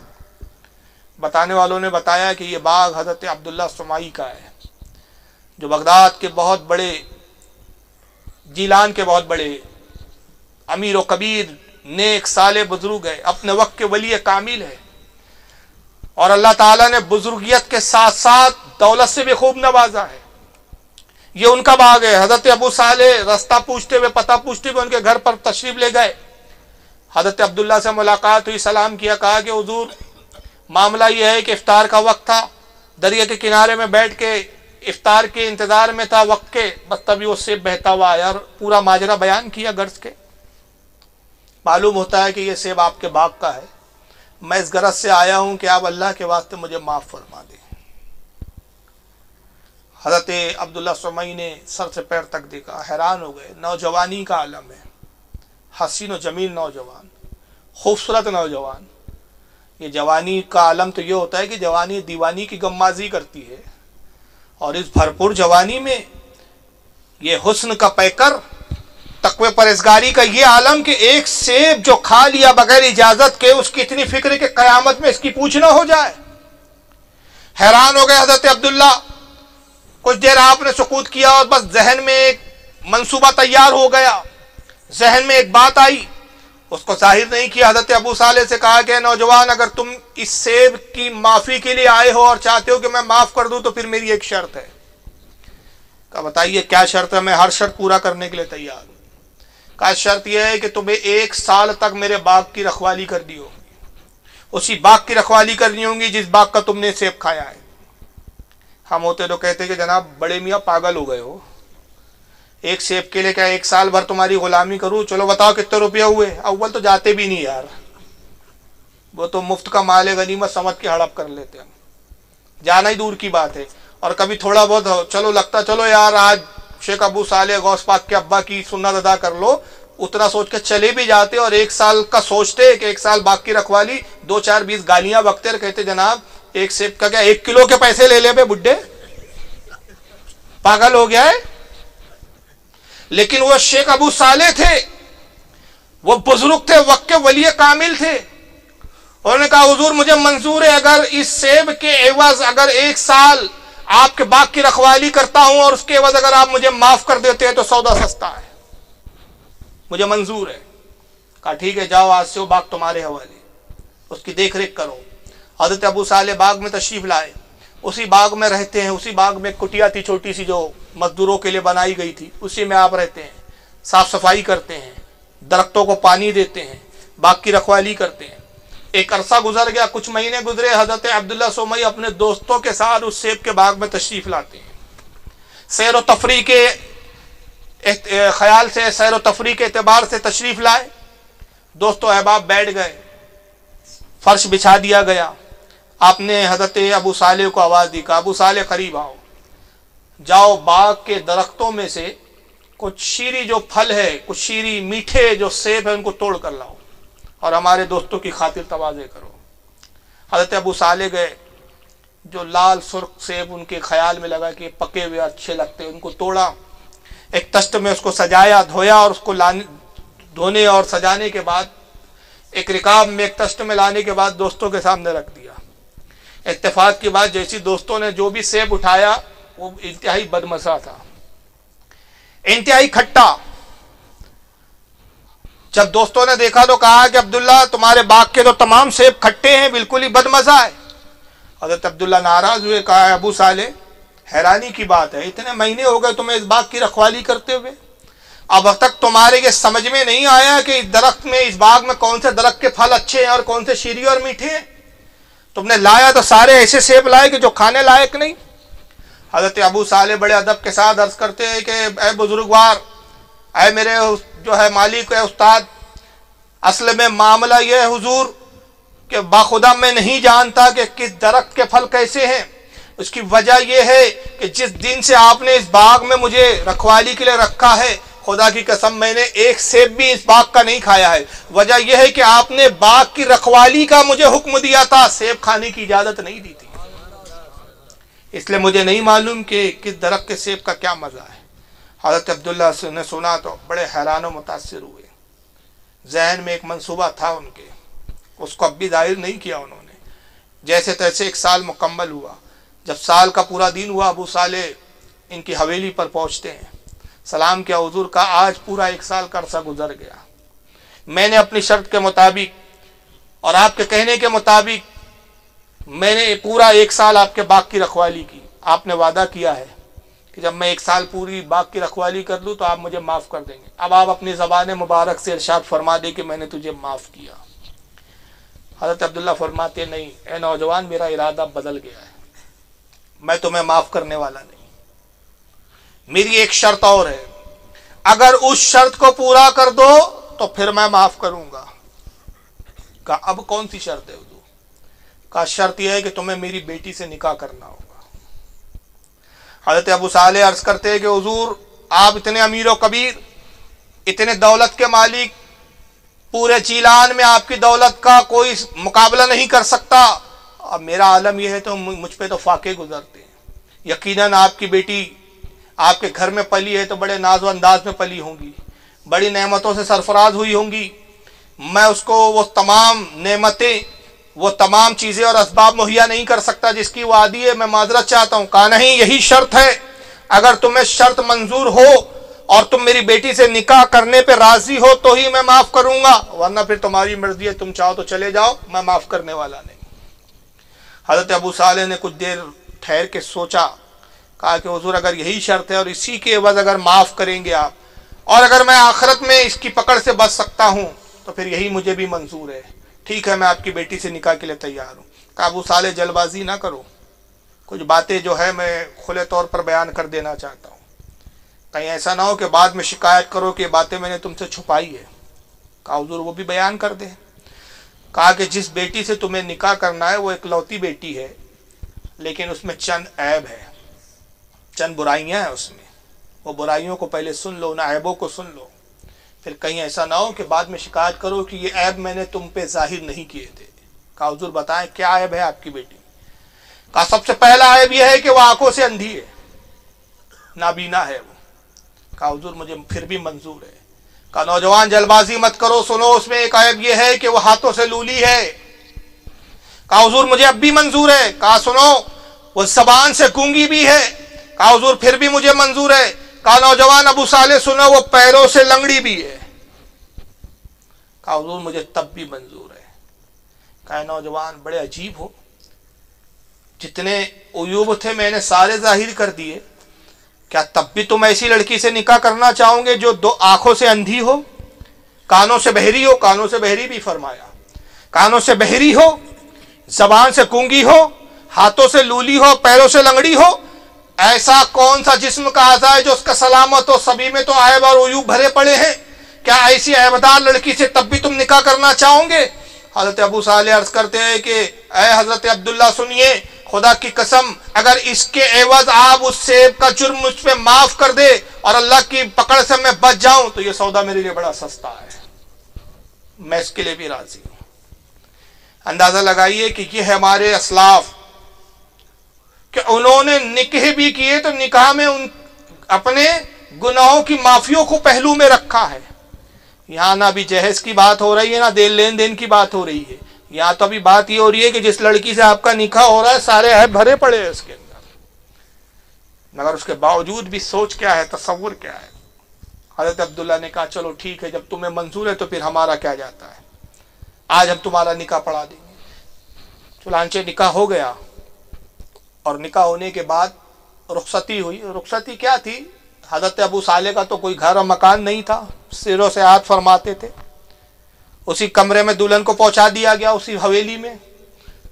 अबू साले जब पहली रात अपने दुल्हन के कमरे में पहुँचे और जैसे ही अपनी दुल्हन का घूंघट उठाया और सलाम किया तो दुल्हन ने जवाब दिया, उल्टे पैर अबू साले भागे। अब भाग के कमरे से बाहर आ गए। हज़रत अब्दुल्ला बाहर एक कुर्सी पे तशरीफ़ फरमाते, अबू साले को भागते हुए देखा, कहा, अबू साले, ठहर जाओ। क्या हुआ? क्या तुम्हें दुल्हन पसंद नहीं आई? कहा, हुजूर, असल में मामला यह है कि मालूम होता है कि किसी और दुल्हन के कमरे में मुझे पहुँचा दिया गया है। ये दुल्हन मेरी नहीं मालूम होती। कहा, किस बुनियाद पे तुम कहते हो कि दुल्हन तुम्हारी नहीं? कहा, खुदा की कसम, जब मैंने घूंघट उठाया, ये तो बड़ी हुस्न का एक पैकर, हुस्न जमाल का पैकर थी। आपने तो फरमाया था, वो आँखों से नाबीना है, लेकिन जब मैंने सलाम किया तो उसने निगाह उठाकर मुझे देखा। गोया इस बात की दलील है कि वह आँखों से नाबीना नहीं है। मैंने सलाम किया तो उसने जवाब दिया। तो उसके जवाब से मैंने तो ये अंदाज़ा लगा लिया कि वो गूँगी नहीं है। आप तो कहते थे कि आपकी बेटी गूँगी है। मेरे सलाम को उसने सुना, गोया वो कानों से बहरी नहीं है। और जब मैंने घूंघट उठाया तो शर्मा के उसने अपने घूंघट को कुछ मजबूती से पकड़ा। पता चला कि उसके हाथ भी काम करते हैं। जब मैं कमरे से बाहर आया तो वो उठकर खड़ी हो गई, गोया वो पैरों से भी सालिम है। हुजूर, वो मेरी बीवी नहीं, मेरी दुल्हन नहीं, किसी और की दुल्हन है। या तो वो गलत कमरे में पहुँचा दी गई है। मेरी बीवी कहाँ है वो बताएँ। हज़रत अब्दुल्ला मुस्कुराते, फरमाते, नहीं अबू साले, खुदा की कसम, वो तुम्हारी ही बीवी है मेरी वही बेटी है, जिसका तुम्हारे साथ निकाह किया गया है। कहा बुजुर्गवार, आप बुज़ुर्ग होके फिर इस तरह क्यों कहा आपने? क्या आपने झूठ कहा? कहा नहीं। खुदा की कसम, मैंने झूठ नहीं कहा। मैंने जो कुछ कहा, सही सही कहा। मैंने कहा कि वो आँखों से अंधी है। तो उससे मेरी मुराद ये थी कि उसने आज तक किसी गैर महरम मर्द को देखा नहीं है। मैंने कहा, वो कानों से बहरी है। उसने आज तक किसी गैर महरम मर्द की आवाज़ को सुना नहीं है। मैंने कहा कि वो जबान से गूँगी है। तो उसके गूँगे होने का मतलब ये कि उसने आज तक खिलाफ शरा कोई बात कही नहीं है। मैंने कहा, वो हाथों से लूली है। शल के खिलाफ उसका कोई काम हाथ उसका उठा नहीं है। पैर उसके कभी शरीयत के खिलाफ गए नहीं है। इस बुनियाद पर मैंने कहा कि वो पैरों से जो है, माजूर है। खुदा की कसम, ये मेरी मुराद ये थी, तुम उसको समझ ना सके। जाओ, ये तुम्हारी ही दुल्हन है। और इसके साथ ज़िंदगी गुजारो। ऐसी नेक बेटी के लिए तुम जैसे नेक शोहर की ही ज़रूरत थी। मैं परेशान हुआ करता था कि मेरी बेटी का तकवा परेजगारी का आलम यह है ए रब कायनात, इसका जो जोड़ा हो, इसके जो शरीक ज़िंदगी हो, उसको तू खुद मुझ तक पहुँचा दे। अल्लाह ने मेरी दुआ को कबूल कर लिया। जाओ, जिसका जो हिस्सा था वो उस तक पहुँच गया। ये सरकार गौ से पाक की माँ है। ये सरकार गौ से पाक के वालिद है। जब ऐसी पारसा मात होती है और जब ऐसा मुत्तकी परहेजगार बाप होता है, अब्दुल कादिर जिलानी जैसा वक्का से आज़म पैदा होता है। लेकिन अगर आलम यह हो कि हम तकवे पे ध्यान ना दें, औरत की सबसे बेहतरीन, और बेहतरीन चीज़ क्या है मालूम है? मौला कायनात रदी अल्लाह तु फरमाते हैं इमाम बुखारी रहमत ने अल मुफरद में इस हदीस को नकल किया है कि रसुल्ला अपनी बेटी फातिमा के पास आए। अर्ज़ की इरशाद फरमाया, बेटी फातिमा, मैं एक सवाल करना चाहता हूँ। अर्ज़ किया कि बाबा जान बताएँ, का बताओ, सबसे बेहतरीन औरत क्या है? सबसे बेहतरीन औरत कौन है? अर्ज़ करती है बाबा जान दुनिया की सबसे बेहतरीन औरत वो है कि जब वो नमाज़ पढ़े तो अपने घर के तय खाने में पढ़े। कहा पढ़े? अपने घर के तहखाने में पड़े रसुल्ला ने अपनी बेटी की पेशानी को बोसा दिया, कहा कि मेरी बेटी फातिमा, खुदा की कसम, तूने औरत की फितरत को पहचान लिया है। तो दुनिया की बेहतरीन औरत यह है कि जो अपने हुसन जमाल को सिर्फ़ ज़ाहिर करे तो अपने शोहर पर। और जो शोहर के अलावा दूसरों पे हुस्नों का इजहार करती है, मैं नहीं कहता हूँ खुदा की कसम। सुनाने अबू दाऊद में आका ने फरमाया कि खुशबू लगाकर बेपर्दा बाजारों में गैर मर्दों के दरमियान से गुजरने वाली औरत जानिया है जानिया है जानिया है। तीन बार फरमाया। क्या फरमाया? सानिया है वो औरत। और इसमें औरत का कसूर नहीं है, इसमें मर्द का ही कसूर है। अब खुद ही मर्द अगर अपनी बीवी और औरतों को बेपर्दा घुमाए, उसमें औरत क्या करे भाई? और आजकल तो फ़ैशन चला है भाई। फ़ैशन क्या चला है? अभी शादियाँ होती है। स्टेज पे लड़की को लेके खुद ही खड़ा है। बेपर्दा दिखा रहा है। किसी जमाने में गैर मुस्लिम ने इतराज किया था कि भाई ये तो जुल्म है ना, औरतों पे कि पर्दे में रख दिया आपने। ये खुद मुझसे इतराज हुआ था। एक अखबार था, पता नहीं अभी निकलता है कि नहीं। आजकल तो इलेक्ट्रॉनिक मीडिया का दौर है। वो लोकमत टाइम्स करके निकलता था नागपुर में। तो एक कॉन्फ्रेंस रखी थी उसमें, बहुत सारे लोग थे, उसमें कुछ मशहूर मारूफ जो लोग थे, उसमें मैं भी शरीक हुआ था, उसमें हमारे दो तीन इर्शाद भाई थे हमारे साथ। आसिफ एडवोकेट करके आपने नाम सुना होगा, वो थे, बहुत सारे लोग थे। इस्लाम के टॉपिक्स पे कुछ करंट इशू पर वो गुफ्तु थी। और उसमें कुछ एतराज़ात किए जा रहे थे इस्लाम पर कि भाई आप जवाब दीजिए मुतमिन कीजिए। सभी धर्म के दो चार गुरु गुरु लाए गए थे। तो वहाँ पर तो कहा ये औरतों को दबा नहीं रहे आप? वहाँ इतराज हुआ है कि साहब ये पर्दा। औरत को मर्द के बराबर का हक मिलना चाहिए। आज ये बड़े नारे लगते हैं, औरत को हक मिलना चाहिए बराबरी का। हमने कहा, भाई, बराबरी का हक तब है कि एक बच्चा मर्द पैदा करे, एक औरत पैदा करे तो तब हम मान लेंगे कि हाँ भाई, बराबरी हो सकती है। जब फितरत ने ही बराबरी नहीं रखी तो तुम कहाँ से बराबरी करते हो? कहा कि ये औरत पर जुल्म है, काले कपड़ों में लपेट कर जकड़ के रख दिया है आपने। यानी पेश भी देखो कैसे करते हैं।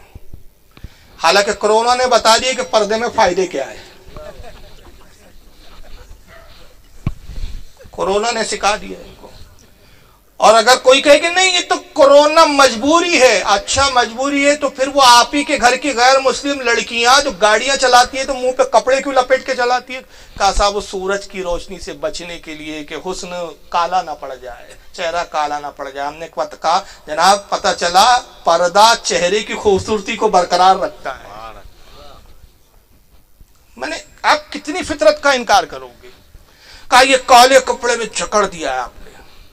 हमने कहा, सुनो जनाब, ये लफ्जों से खेलने से कोई चीज़ की वैल्यू और अहमियत नहीं घटी जाती।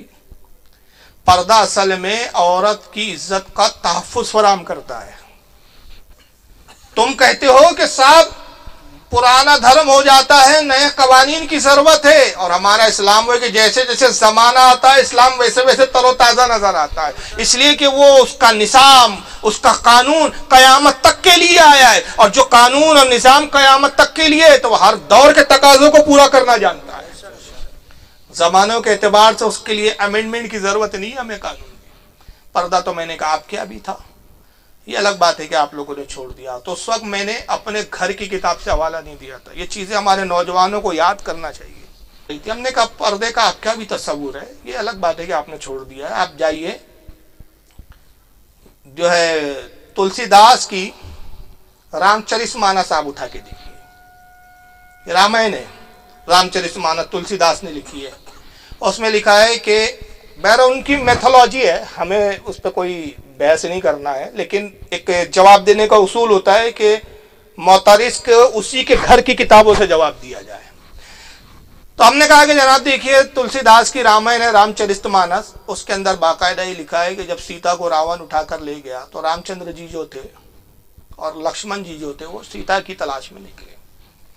तो सीता ने क्या किया अपने आभूषणों को फेंकना शुरू कर दिया। थोड़े थोड़े दूर पे कान की बालियाँ फेंक दी हाथों की चुड़िया फेंक दी, गले का हार फेंक दिया, माथे की बिंदियाँ फेंक दी, अंगूठियाँ फेंक दी, पैरों के छल्ले फेंक दिए थोड़े थोड़े दूर पर फेंकते गई हो मकसद क्या था?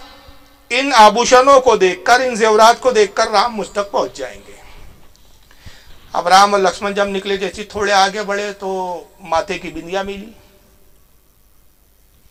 राम ने माथे की बिंदिया उठाई, लक्ष्मण से कहा, लक्ष्मण, मेरे भाई, देखो, ये तुम्हारी भाभी की माथे की बिंदिया है। लक्ष्मण खामोश। रामचरित मानस कहती है कि लक्ष्मण ने कुछ नहीं कहा। फिर बात आगे बढ़ी। आगे चले तो साहब चूड़िया गले का हार मिला। राम ने फिर वो हार उठाया कहा, देखो, ये तुम्हारी भाभी के गले का हार है। लक्ष्मण अब भी खामोश आगे बढ़े तो वो टंट माला कुछ बोलते यहाँ लगाते बाजू पे, बाजूबंद बोलते हैं उसको हमारी उर्दू में। हिंदी का एक वर्ड आता है उनका। बहरहाल वो बाजूबंद राम ने उठाया, कहा, देखो, ये तुम्हारी भाभी की लक्ष्मण अब भी खामोश। चूड़िया मिली, राम ने कहा, देखो, ये तुम्हारी भाभी की चूड़िया लक्ष्मण खामोश। आगे बढ़े, जैसे ही पैरों का एक छिबिया या छल्ला बोलते हैं, पैरों का वो छल्ला था, जैसे ही वो छल्ले को देखा, लक्ष्मण दौड़ के गया, लक्ष्मण ने उठाया और कहा, भैया, भाभी के पैरों का छल्ला। क्या बोलते हैं उसको? बिछिया बोलते हैं, देखिए, बिछिया। राम बड़े हैरान हो गए, कहा कि लक्ष्मण, बात समझ में नहीं आई। माथे की बिंदिया के बारे में मैंने तुमसे पूछा कि ये भाभी की है तुम्हारे, तुम खामोश थे। मैंने हार के बारे में कहा, तुम खामोश थे। चूड़ियों के बारे में कहा, खामोश थे। मैं आभूषण बताता रहा, तुम खामोश थे। लेकिन जैसे ही पैरों की जो है बिछिया मिली, छल्ला मिला छोटा सा, तुम खुद दौड़ के उठा लिया और कहा कि ये भाभी की है।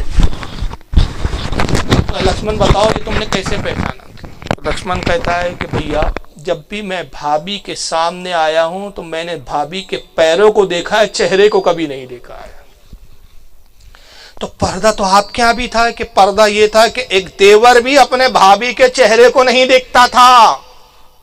और फिर ऐसे लोग इस्लाम पर एतराज़ करते हैं कि साहब, इस्लाम में ये गलत है, वो गलत है, ये सही नहीं, वो सही नहीं। अब इस पर भी लाते हैं कि भाई, शादी का जो तस्वूर है आप लोगों के चार चार के तस्वूर है। इस पर भी एतराज़ होते हैं। चार का तस्वुर सीखो हमसे भाई। सात जन्मों का रिश्ता। एक से जो निभाया तो सात जन्मों तक। जन्म जन्मांतर का रिश्ता। और आप लोगों क्या चार? असल में बेचारे खुद कुरान पढ़ते नहीं है ना बलद है। सबसे पहले तो ये समझना पड़ेगा कि इस्लाम में चार औरत रखने की इजाज़त क्यों है? चार रख सकते, रखना है, ये ज़रूरी नहीं है। कुरान ने वादे तौर पर कहा सूर्य निशा में है। रब फरमाता है कि तुम चाहो तो निकाह दो करो, तीन करो या चार करो। और अगर इसकी तुम में इस्तात नहीं है, अल्लाह फरमाता है कि अगर तुम इसकी इस्तात नहीं रखते, अगर तुम्हें खौफ हो कि तुम बराबरी नहीं कर सकोगे तो अल्लाह फरमाता है तुम्हारे लिए एक ही काफ़ी है। तो ये नहीं कहा कुरान ने कि खामो खा तुम चार चार करो और पाँच पाँच करो तीन तीन करो, अपनी हैसियत के हिसाब से। अगर एक की किफालत कर सकते हो तो एक ही काफ़ी है। अब बराबरी का सलूक कैसे इस्लाम में बताया? इमाम गजाली रहमत ने बड़ी प्यारी मिसाल दी इसकी। कहा कि शरीयत ये कहती है कि दो औरत हो तो दोनों में जो मर्द इस तरह की बराबरी कर सकता हो तो उसी उसे ही हक है कि वो दो निकाह करे। अब बराबरी की मिसाल ऐसी दी कि अगर दो तरबूज लाए तो बराबरी ये नहीं है कि एक तरबूज उठाया, एक बीवी को दे दिया, दूसरा तरबूज उठाया, दूसरी बीवी को दे दिया, और कहा देखो साहब बराबरी। दोनों को दो दो तरबूज ला के दिया ना एक इमाम गदाली फरमाते, नहीं, अगर एक का तरबूज फीका निकल गया तो उसके साथ नाइंसाफी हो जाएँगी। तो बराबरी यह है कि दोनों तरबूज को आधा आधा काटे। इस तरबूज का आधा ले, उस तरबूज का आधा ले। इस तरबूज का आधा ले, उस तरबूज का आधा ले। इस तरह दोनों बीबियों को बंटवारा करे। यह अदल। और आका ने फिर साथ में उसके एक तंबी भी फरमा दी, कहा कि सुनो, जो दो निकाह करता है या तीन निकाह करता है और अपनी बीवियों के दरमियान में अदल नहीं कर सकता, कयामत का दिन इस तरह आएगा कि उसका एक बाजू झुका हुआ होगा। और कौमें और लोग देखकर समझ लेंगे कि इसने अपनी बीवियों के साथ ना इंसाफी की थी, बराबरी का सलूक नहीं किया और उस वक्त ये उसके लिए रसवाई का सबब बनेगा। वहाँ उसको रसवाई होगी, उस पर पूछ होंगी, उस पर गिरफ्त की जाएँगी और याद रखिए, अल्लाह की गिरफ्त कोई मामूली नहीं होती है। ये कोई दुनिया के जज और दुनिया की पुलिस की गिरफ्त नहीं है कि जनाब रिश्वत देके छोड़ दिया जाए। वहाँ गिरफ्त हो गई तो सजा ही है। वहाँ पे छोड़ नहीं है, छुटकारा नहीं है। तो अगर इतदाल रख सकता है, अदल रख सकता है तो तब निकाह की इजाज़त है, वरना नहीं है। लेकिन सवाल यह पैदा होता है कि ये चार का तस्वुर क्यों दिया गया हमारे असल में इसकी हिकमतें हैं। हमारे एक दोस्त है, माशाल्लाह हयात है, सैयद कमरुद्दीन साहब। मुफ्ती आज़म के मुरीद है। सभी जानते हैं, सेनेटरी की दुकान है जनाब की, कमर भाई बोलते हम लोग। उनके एक ज़माने में काशी के एक पंडित आया करते थे। नल नल वगैरह ये सेनेट क्या बोलते हैं उसको यार? कौन सा कारोबार बोलते हैं उसको? हाँ? सैनिटरी का। हमारे एजाज भाई भी उसी से ताल्लुक रखते हैं, माशाल्लाह। सैनिटरी के आइटम रखते हैं। तो वो काशी के नल रखते थे। पंडित था, वो नल सप्लाई करता था। तो आके कमर भाई को हिंदुइज्म समझाता था। तो हमारे कमर भाई जो है थोड़े मसाइया टाइप के इसको खेलते थे। अब वो पंडित ये समझते थे बीच में एक दौरा चला था ना, घर वापसी। हमने कहा, घर ही वापस वापस होना है तो हज़रत आदम पहला घर है ना, वहाँ पे हो जाओ। तो देख लो आदम का धर्म क्या था, मज़हब क्या था। इस्लाम था। तो वापस होंगे तो इस्लाम पर ही आना पड़ेगा ना। हम भी जो बोलते हैं, घर वापसी, घर वापस आ जाना चाहिए। तीन सौ पैंसठ को ले लिया तुमने एक खुदा पहले आया ना, तीन सौ पैंसठ बाद में आया तो तीन सौ पैंसठ को छोटो छोड़ो, एक की तरफ़ आओ, यही तो घर वापसी है। तो वो एक बार ये हुआ कि कमर भाई से कहते यार, हमारे एक दोस्त है, उनसे मैं आपको मिलाऊँगा। अब वो कई दिन चलता रहा, एक दिन साहब वो मिला दिया उन्होंने। तो पंडित जी आ गए साहब मिलने के लिए, गुफ्तगु शुरू हुई। तो पंडित जी ने पहले कहा, देखो साहब, फारूक साहब ऐसा है, फ्रैंकली बात करना है बोले अपने को। मैंने कहा, बिल्कुल, आप खुलकर जो लैंग्वेज में, जिस जबान में जैसा चाहे, वैसा बोले, मैं बुरा नहीं मानूँगा, लेकिन मेरी भी शर्त है कि अगर मैं भी कुछ फ्रैंकली बोलूँ तो आपको सुनना पड़ेगा। बोले हाँ नहीं नहीं, बिल्कुल, बोले, क्या अपन तो अपन कोई बोले, धर्म के ठेकेदार थोड़ी, आपने बोले, समझना, समझाना है। ये सारी बातें भी हो, या कोई भी हो, उस वक्त तक ही करते जब तक उनको लगता है कि नहीं, अपन तो बहुत बड़े तुर्रम खां हैं। और जब उनके खिलाफ जाने लगती है तो वे चिड़चिड़ाहट आने लगती है। चलो बात शुरू। तो उन्होंने कहा, साहब, ये चार शादी का क्या तस्वूर है? हमारे यहाँ देखो साहब, एक पत्नी के साथ जन्म, कई जन्म गुजार लेता है। और आप क्या बोले, अजीब तस्वूर है। दुनिया में है तो चार और फिर बोलते, जन्नत में सत्तर। यानी आप लोगों के अजीब ही मामला है। मैंने कहा, असल में चार शादी बुरी इसलिए लग रही है कि जिस ज़माने में, जिस दौर में हम बात कर रहे हैं, इसके तकाजे और हैं। और जिस ज़माने में चार निकाह पैगंबर ने जब जायज़ करार दिया उस दौर के तकाजे और थे। दौर के हिसाब से बातों की अहमियत होती है। दौर बदल जाए तो कुछ बातें अजीब सी लगती है, लेकिन इसका यह मतलब नहीं होता कि वो बात गलत है। मैंने कहा, सुनो, हमारे यहाँ पैगंबर का क्या तस्वूर है? आप क्या है कि एक ही अर्धांगनी अर्धांगनी, आधा धड़? तो एक ही अर्धांगनी और हमारे क्या है? चार रख सकते हैं। तो चार रख क्यों सकते हैं? क्यों इसकी गुंजाइश रखी? गुंजाइश लग रही कि जिस जमाने में पैगंबर कह रहे हैं, वो जमाना था जंगों का। एक मुल्क दूसरे मुल्क पे हमला करता था। और उस दौर की जो जंगे होती थी, आज जैसी जंगे नहीं होती थी कि पत्थर के पीछे बंदूक लेके बैठे हैं तो घंटों में एक ही मर रहा है। दो दो तीन तीन दिन हमले हुए तो कितने मरे? बोले, पाँच मरे। वो जंगे ऐसी नहीं होती थी। तलवारों की जंग थी। जब दो आमने सामने हो गए तो मिनटों में फ़र्क नतीजा सामने आएगा और दो का मुकाबले का मतलब एक का मरना यकीनी। तो जब जंगे होती थी तो नतीजा क्या होता था? इधर से एक लाख की फौज, उधर से एक लाख की फौज। अब इधर भी लोग मरे, उधर भी मरे। तो अब मुसलमान लड़े गए, मुसलमान भी मरे। तो अगर मान लीजिए एक लाख की फौज मुसलमानों की गई, पचास हज़ार लोग उसमें मर गए। और पचास हज़ार में समझ लीजिए कि आप पच्चीस हज़ार शादीशुदा थे, पच्चीस हज़ार कवारे थे। हालाँकि शादीशुदा ज़्यादा होते, लेकिन मैं समझाने के लिए कह रहा हूँ। तो पच्चीस हज़ार लोगों की शहादत का मतलब पच्चीस हज़ार औरतें बेवा। पच्चीस हज़ार औरतों को अगर एक एक औरत का एक एक बच्चा पकड़ ले, अब ज़रूरी नहीं एक हो, दो तीन, पाँच, ज़्यादा भी हो सकते, लेकिन एक एक पकड़ ले तो एक ही जंग का नतीजा क्या हुआ कि पच्चीस हज़ार औरतें बेवा, पच्चीस हज़ार बच्चे यतीम। तो पैगंबर ने तस्वुर दिया कि तुम एक बीवी रखो, दो रखो, तीन रखो, चार रखो, ताकि जब जंग से लौटे तो अपने वो अहबाब, वो तुम्हारे मुजाहिद दोस्त जो शहीद हो गए, उनकी बेवाओं से निकाह कर लो। ताकि उन्हें सहारा मिल जाए, उनके बच्चे को बाप मिल जाए। और फिर बराबरी और अदल ऐसा रखा कि जब तुमने दूसरा निकाह कर लिया तो उस बीवी का भी प्रॉपर्टी में उतना ही हक है जितना पहली वाली का।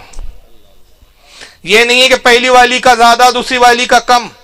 फिर ये दूसरी वाली का जो बच्चे पैदा हुए, इसका भी उतना ही हक जितना पहली बीवी से बच्चे पैदा हुए। बच्चों में प्रॉपर्टी की तकसीम में कोई कमी ज्यादती नहीं। ये अदलो इंसाफ। और आप क्या क्या किया? जब आप क्या अर्धांगनी थी, एक ही धड़ को सात जन्म तक लेके चलना है तो अब जंग हुई, मरे तो क्या करे? सती कर दो। जला दो। तो मैंने बताइए इस्लाम का तस्वुर ज़्यादा बेहतरीन लगता है आपके यहाँ कि आपका धर्म का ज़्यादा लगता है? तो चिड़ गए, कहा, नहीं नहीं साहब, उस जमाने में जंग होती थी। आज तो नहीं होती ना तो आज आप ये कानून बदल क्यों नहीं देते? हमने कहा, देखिए पहला जवाब तो इसका है कि हम कानून इसलिए नहीं बदल देते कि जिसने कानून बनाया, उसको इख्तियार है कि वो बदले। जिन्होंने बनाया ही नहीं, जिनकी बनाने की औकात नहीं, वो बदलने की हैसियत नहीं रखते। तो ये कानून अल्लाह ने बनाया, वो चाहे तो मनसूख करे मनसूख के लिए नबी की ज़रूरत नबी है नहीं। और कानून में ये है, ये नहीं है कि चार करनी ही पड़ेंगी, कर सकते तो कंडीशन पाई जाएँगी, ज़रूरत महसूस होगी तो की जाएँगी, और अगर नहीं ज़रूरत होगी तो करने की ज़रूरत ही नहीं तो आज भी ज़रूरत पड़ सकती है। मैंने जंग की उस दौर की मिसाल दी, आज भी हो सकता है कि एक शख्स निकाह करे और उसकी जो बीवी है, ऐसी बीमार हो जाए कि वो किसी काबिल ही नहीं, नस्ल नहीं बढ़ सकती। तो अब कंडीशन पाई जा रही है तो शरीयत ने रखा है गुंजाइश कि दूसरी कर सकता है। ये नहीं शरीयत ने कहा, जाओ, अब अयाशियाँ करो इधर उधर मुँह मारो और हराम नस्ल पैदा करो। और हराम ऐसे बच्चे पैदा करो कि वो बच्चे बड़े हो तो बाप को भी कोसते हुए नज़र आए कि कम बखत ने अपनी अयाशी के लिए हमें तो पैदा करके छोड़ दिया, हमें नाम तक नहीं दिया। और वो सारी ज़िंदगी वो बच्चा बिला कसूर बगैर किसी कसूर के सजा पाते रहे कि हर कोई उसका दोस्त, उसका पढ़ने वाला साथ में, उसके उठने बैठने वाला उसको हरामी बोलता रहे। इस्लाम इन चीज़ों को पसंद नहीं करता, मैंने कहा। कंडीशन पर फिर मैंने कहा, पंडित जी देखिए, मान लीजिए अगर आपकी बीवी ही मर जाए, आपने शादी की और जवानी में बीवी मर गई तो अब आप दूसरी करेंगे कि नहीं? क्या अब अगले जन्म का इंतज़ार करेंगे? अगले जन्म में वही मिलेंगी, और फिर अगले जन्म में भी मिली और फिर मर गई। जबकि ज़रूरत इस जन्म में है। या आपकी बीवी है, मैंने कहा, खुदा ना करे कि वो कैंसर की मरीज़ हो गई, किसी काम की नहीं। तो यहाँ इस्लाम में तस्वुर दिया कि पहली बीवी अगर इस तरह खुदा न खास्ता ऐसा हो जाए तो दूसरी बीवी ला ले कि भाई तेरी भी ज़रूरत पूरी हो, उसकी भी खिदमत होते रहे। तो चिड़ गया, उन्होंने कहा, नहीं नहीं, ये सब आप मिसालें दे रहे हैं, मेरे समझ में नहीं आ रही। तो मैं भी चिड़ के कहा, मैंने कहा, पंडित जी, आपके समझ में नहीं आएँगी। और वजह यह है कि जिनके धर्म में एक द्रौपदी के पाँच पांडु समझ में आ जाते हैं, उसको एक पति की चार पत्नियाँ समझ में नहीं आएँगी।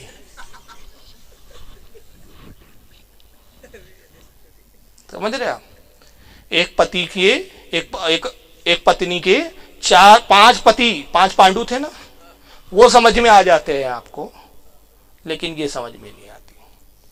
तो इस तरह के बेहुदा एतराज़ होते हैं। बहरहाल, इस्लाम एक ऐसा, इसका शादी का भी जो निज़ाम है ना अपनी जगह इतना बेहतरीन है कि दुनिया का कोई मज़हब उसका मुकाबला नहीं कर सकता। क्या बेहतरीन निज़ाम है हमारे हजूर फरमाते हैं सल्लल्लाहु अलैहि वसल्लम कि निकाह के लिए लाजिम है कि सबसे पहले लड़की की इजाज़त ली जाए। और इजाज़त के बारे में कितनी ताकीद की अल्लाह के नबी ने? हजूर ने फरमाया कि कवारी लड़की से भी इजाज़त लो। कवारी से इजाज़त लो। और कवारी का हज़रत आयशा कहती उम्मी यारसोल्ला कवारी लड़कियाँ उमूमन शर्म की वजह से इजाज़त नहीं देती। तो उन्होंने फरमाया, अगर वो मुस्कुरा दे या शर्मा जाए तो ये इस बात की तरफ़ इशारा है कि वो राज़ी है। मगर अगर औरत बेवा हो, उसका दूसरा निकाह हो रहा है, तलाक शुदा निकाह हो रहा है तो हजूर फरमाते हैं कि हम मुस्कुराना और शर्माना काफ़ी नहीं, उसको जबान से कहना पड़ेगा कि निकाह मंजूर है या नहीं। और इजाज़त का मतलब क्या है हमारे यहाँ? ये भी तस्वुर गलत, इजाज़त का मतलब हम क्या समझते हैं? पूरे मेहमान आ गए। सब बैठे, काजी साहब भी बैठे, रजिस्टर भी खोल लिया सब। अब उस वक्त पूरे भीड़ और मजमे में जाके कह रहे हैं, जनाब, आफाक साहब के निकाह में आपको दिया, कबूल किया? अब बेचारी शर्मा शर्मी हाँ ही बोलेंगी। पता है कि नहीं नहीं बोल दूँगी तो साहब कितना बड़ा बवाल हो जाएगा। यहाँ पे अब्बा की इज़्ज़त का सवाल है, चचा की इज़्ज़त का सवाल है, ये इजाज़त नहीं है। ये तो निकाह की इजाज़त है, रिश्ते की इजाज़त अलग है। वो क्या है? हजूर फरमाते हैं कि निकाह से पहले इजाज़त लो। इमाम आज़म अबू हनीफा मुस्द अहमद में लिखते कि सरकार की आदत करीमा थी कि जब भी अपनी किसी बेटी का निकाह फरमाते तो अपनी बेटी से इस, इन लफ्ज़ों में इजाज़त लेते। हज़रत फातिमा के लिए जब हज़रत अली का पैगाम आया तो हजूर फातिमा के पास आए, कहा कि फातिमा, अली तुम्हारा ज़िक्र कर रहे हैं। अली तुम्हारा ज़िक्र कर रहे हैं। हज़रत फातिमा समझ गई कि हुजूर की क्या मुराद है। चुनानचे शर्मा के चले गई तो आप समझ गए गोया ये निकाह के लिए तैयार है। तो हजूर कहते हैं, औरत से इजाज़त लो। और उसमें फिर क्या है? निकाह में जो शर्त होती है, एजाब कबूल। दो लफ्ज़ सुनते हैं ना? एजाब मर्द की तरफ़ से और कबूल औरत की तरफ़ से। तो मर्द की तरफ़ से ये एजाब है, ऑफ़र है कि इतने महर के एवज मैं तुझे अपने निकाह में लेना चाहता हूँ। और औरत कहती है, मैंने कबूल किया। औरत अगर इनकार कर दे, दुनिया की कोई ताकत उसको राज़ी नहीं कर सकती। शरीयत ने कहा कि अगर लड़की निकाह के लिए तैयार ना हो तो ना उसका बाप उसको मजबूर कर सकता है, ना उसकी माँ, ना उसका भाई, बल्कि हाकी में वक्त भी उसको मजबूर नहीं कर सकता। ये इख्तियार दिया गया है। हज़रत खनसा इबन खिजाम एक खातून है, साबिया है, उनके शोवर का इंतकाल हो गया। सही बुखारी की हदीस है। उनके देवर ने निका का पैगाम दिया। आदमी का इंतकाल हो जाए तो देवर से निका जायज़ हो जाता है। वो भी चाहती थी कि वो देवर से निका हो जाए, क्योंकि वो ख़ानदान, वो फैमिली बहुत अच्छी थी। तो वो अपने देवर से निकाह करना चाहती थी, लेकिन वालिद साहब राज़ी नहीं हुए, उन्होंने ज़बरदस्ती एक दूसरी जगह निकाह कर दिया। निकाह हो गया। वो रसुल्ला की खिदमत में आई और अर्ज़ किया, अल्लाह के नबी मेरे वालिद ने ज़बरदस्ती मेरा निकाह दूसरी जगह कर दिया, जबकि उस निकाह से मैं राज़ी नहीं वो वसल्लम ने उसके वालिद को बुलाया, कहा, ये खनसा क्या कहती है? उन्होंने कहा, यार रसुल्ला सही कहती है। लेकिन मैंने देवर से, इसके देवर से बेहतर उस लड़के को चाहा, समझा, उस लड़के को चाहा कि वो ज़्यादा बेहतर है, इसलिए मैंने बेहतर जगह निकाह किया। उसने फरमाया, वो निकाह ही नहीं हुआ, दोनों में जुदाई करवा दो। दोनों में जुदाई कर दी गई। मगर उसकी बुखारी में तो इतना ही ज़िक्र है, मगर इमाम इबन हजर उसकी तशरी करते कहते, हज़रत खनसा कहती है रसुल्ला अब मैं उसी शख्स के साथ रहती हूँ जो मेरे वालिद ने जिससे निकाह किया। मैं सिर्फ़ औरत का हक जानना चाहती थी। अब मेरे वालिद ने कर दिया, तब मैं ज़िंदगी उसी के साथ गुजारूँगी। लेकिन यहाँ एक पैगाम दे दिया गया, बता दिया गया कि अगर लड़की राज़ी ना हो तो निकाह नहीं होता। तो लड़की की इजाज़त सबसे अहमियत की हामिल होती है। और उसके बाद दूसरा दर्जा क्या आता है? महर का। महर औरत का हक है। और महर एक ये अलग बात है कि आदमी उतनी ही महर मुकर करे जो उसकी अपनी हैसियत है। हैसियत से ज़्यादा ना हो। लेकिन इसमें औरत की जो है, तरफ़ से महर की जो है, एक एक वो रखा गया है शरीयत में कि जितने पे महर पे औरत राज़ी हो जाए ये नहीं है कि आप अपनी मर्ज़ी से रखे इसमें औरत की इसमें भी रजा का हुक्म है कि जब महर मुकर करे महर मुकर करने के लिए जब बैठते फैमिली के लोग तो लड़की को बताया जाए लड़की के बाप या उसकी माँ या उसकी बहन जो भी उससे करीबी हो उस, उसके ज़रिए उसको इतला दी जाए कि भाई इतना महर रखा गया है लड़की अगर राज़ी हो जाए तो उतना। ये शरीयत का हुक्म है। तो बहरहाल ये सारी शरीयत के तकाजे हैं। तो इन तकाज़ों को हमें इस्लाम को समझना भी चाहिए और उस पर अमल भी करना चाहिए। अल्लाह ताला से मैं दुआ करता हूँ, रब कायनत अपने हबीब के सदक़े में होने वाली तकरीब को पाए तकमील तक पहुँचाए। इसमें खैर बरकत अता फरमाए। वमा अलैना मुबीन।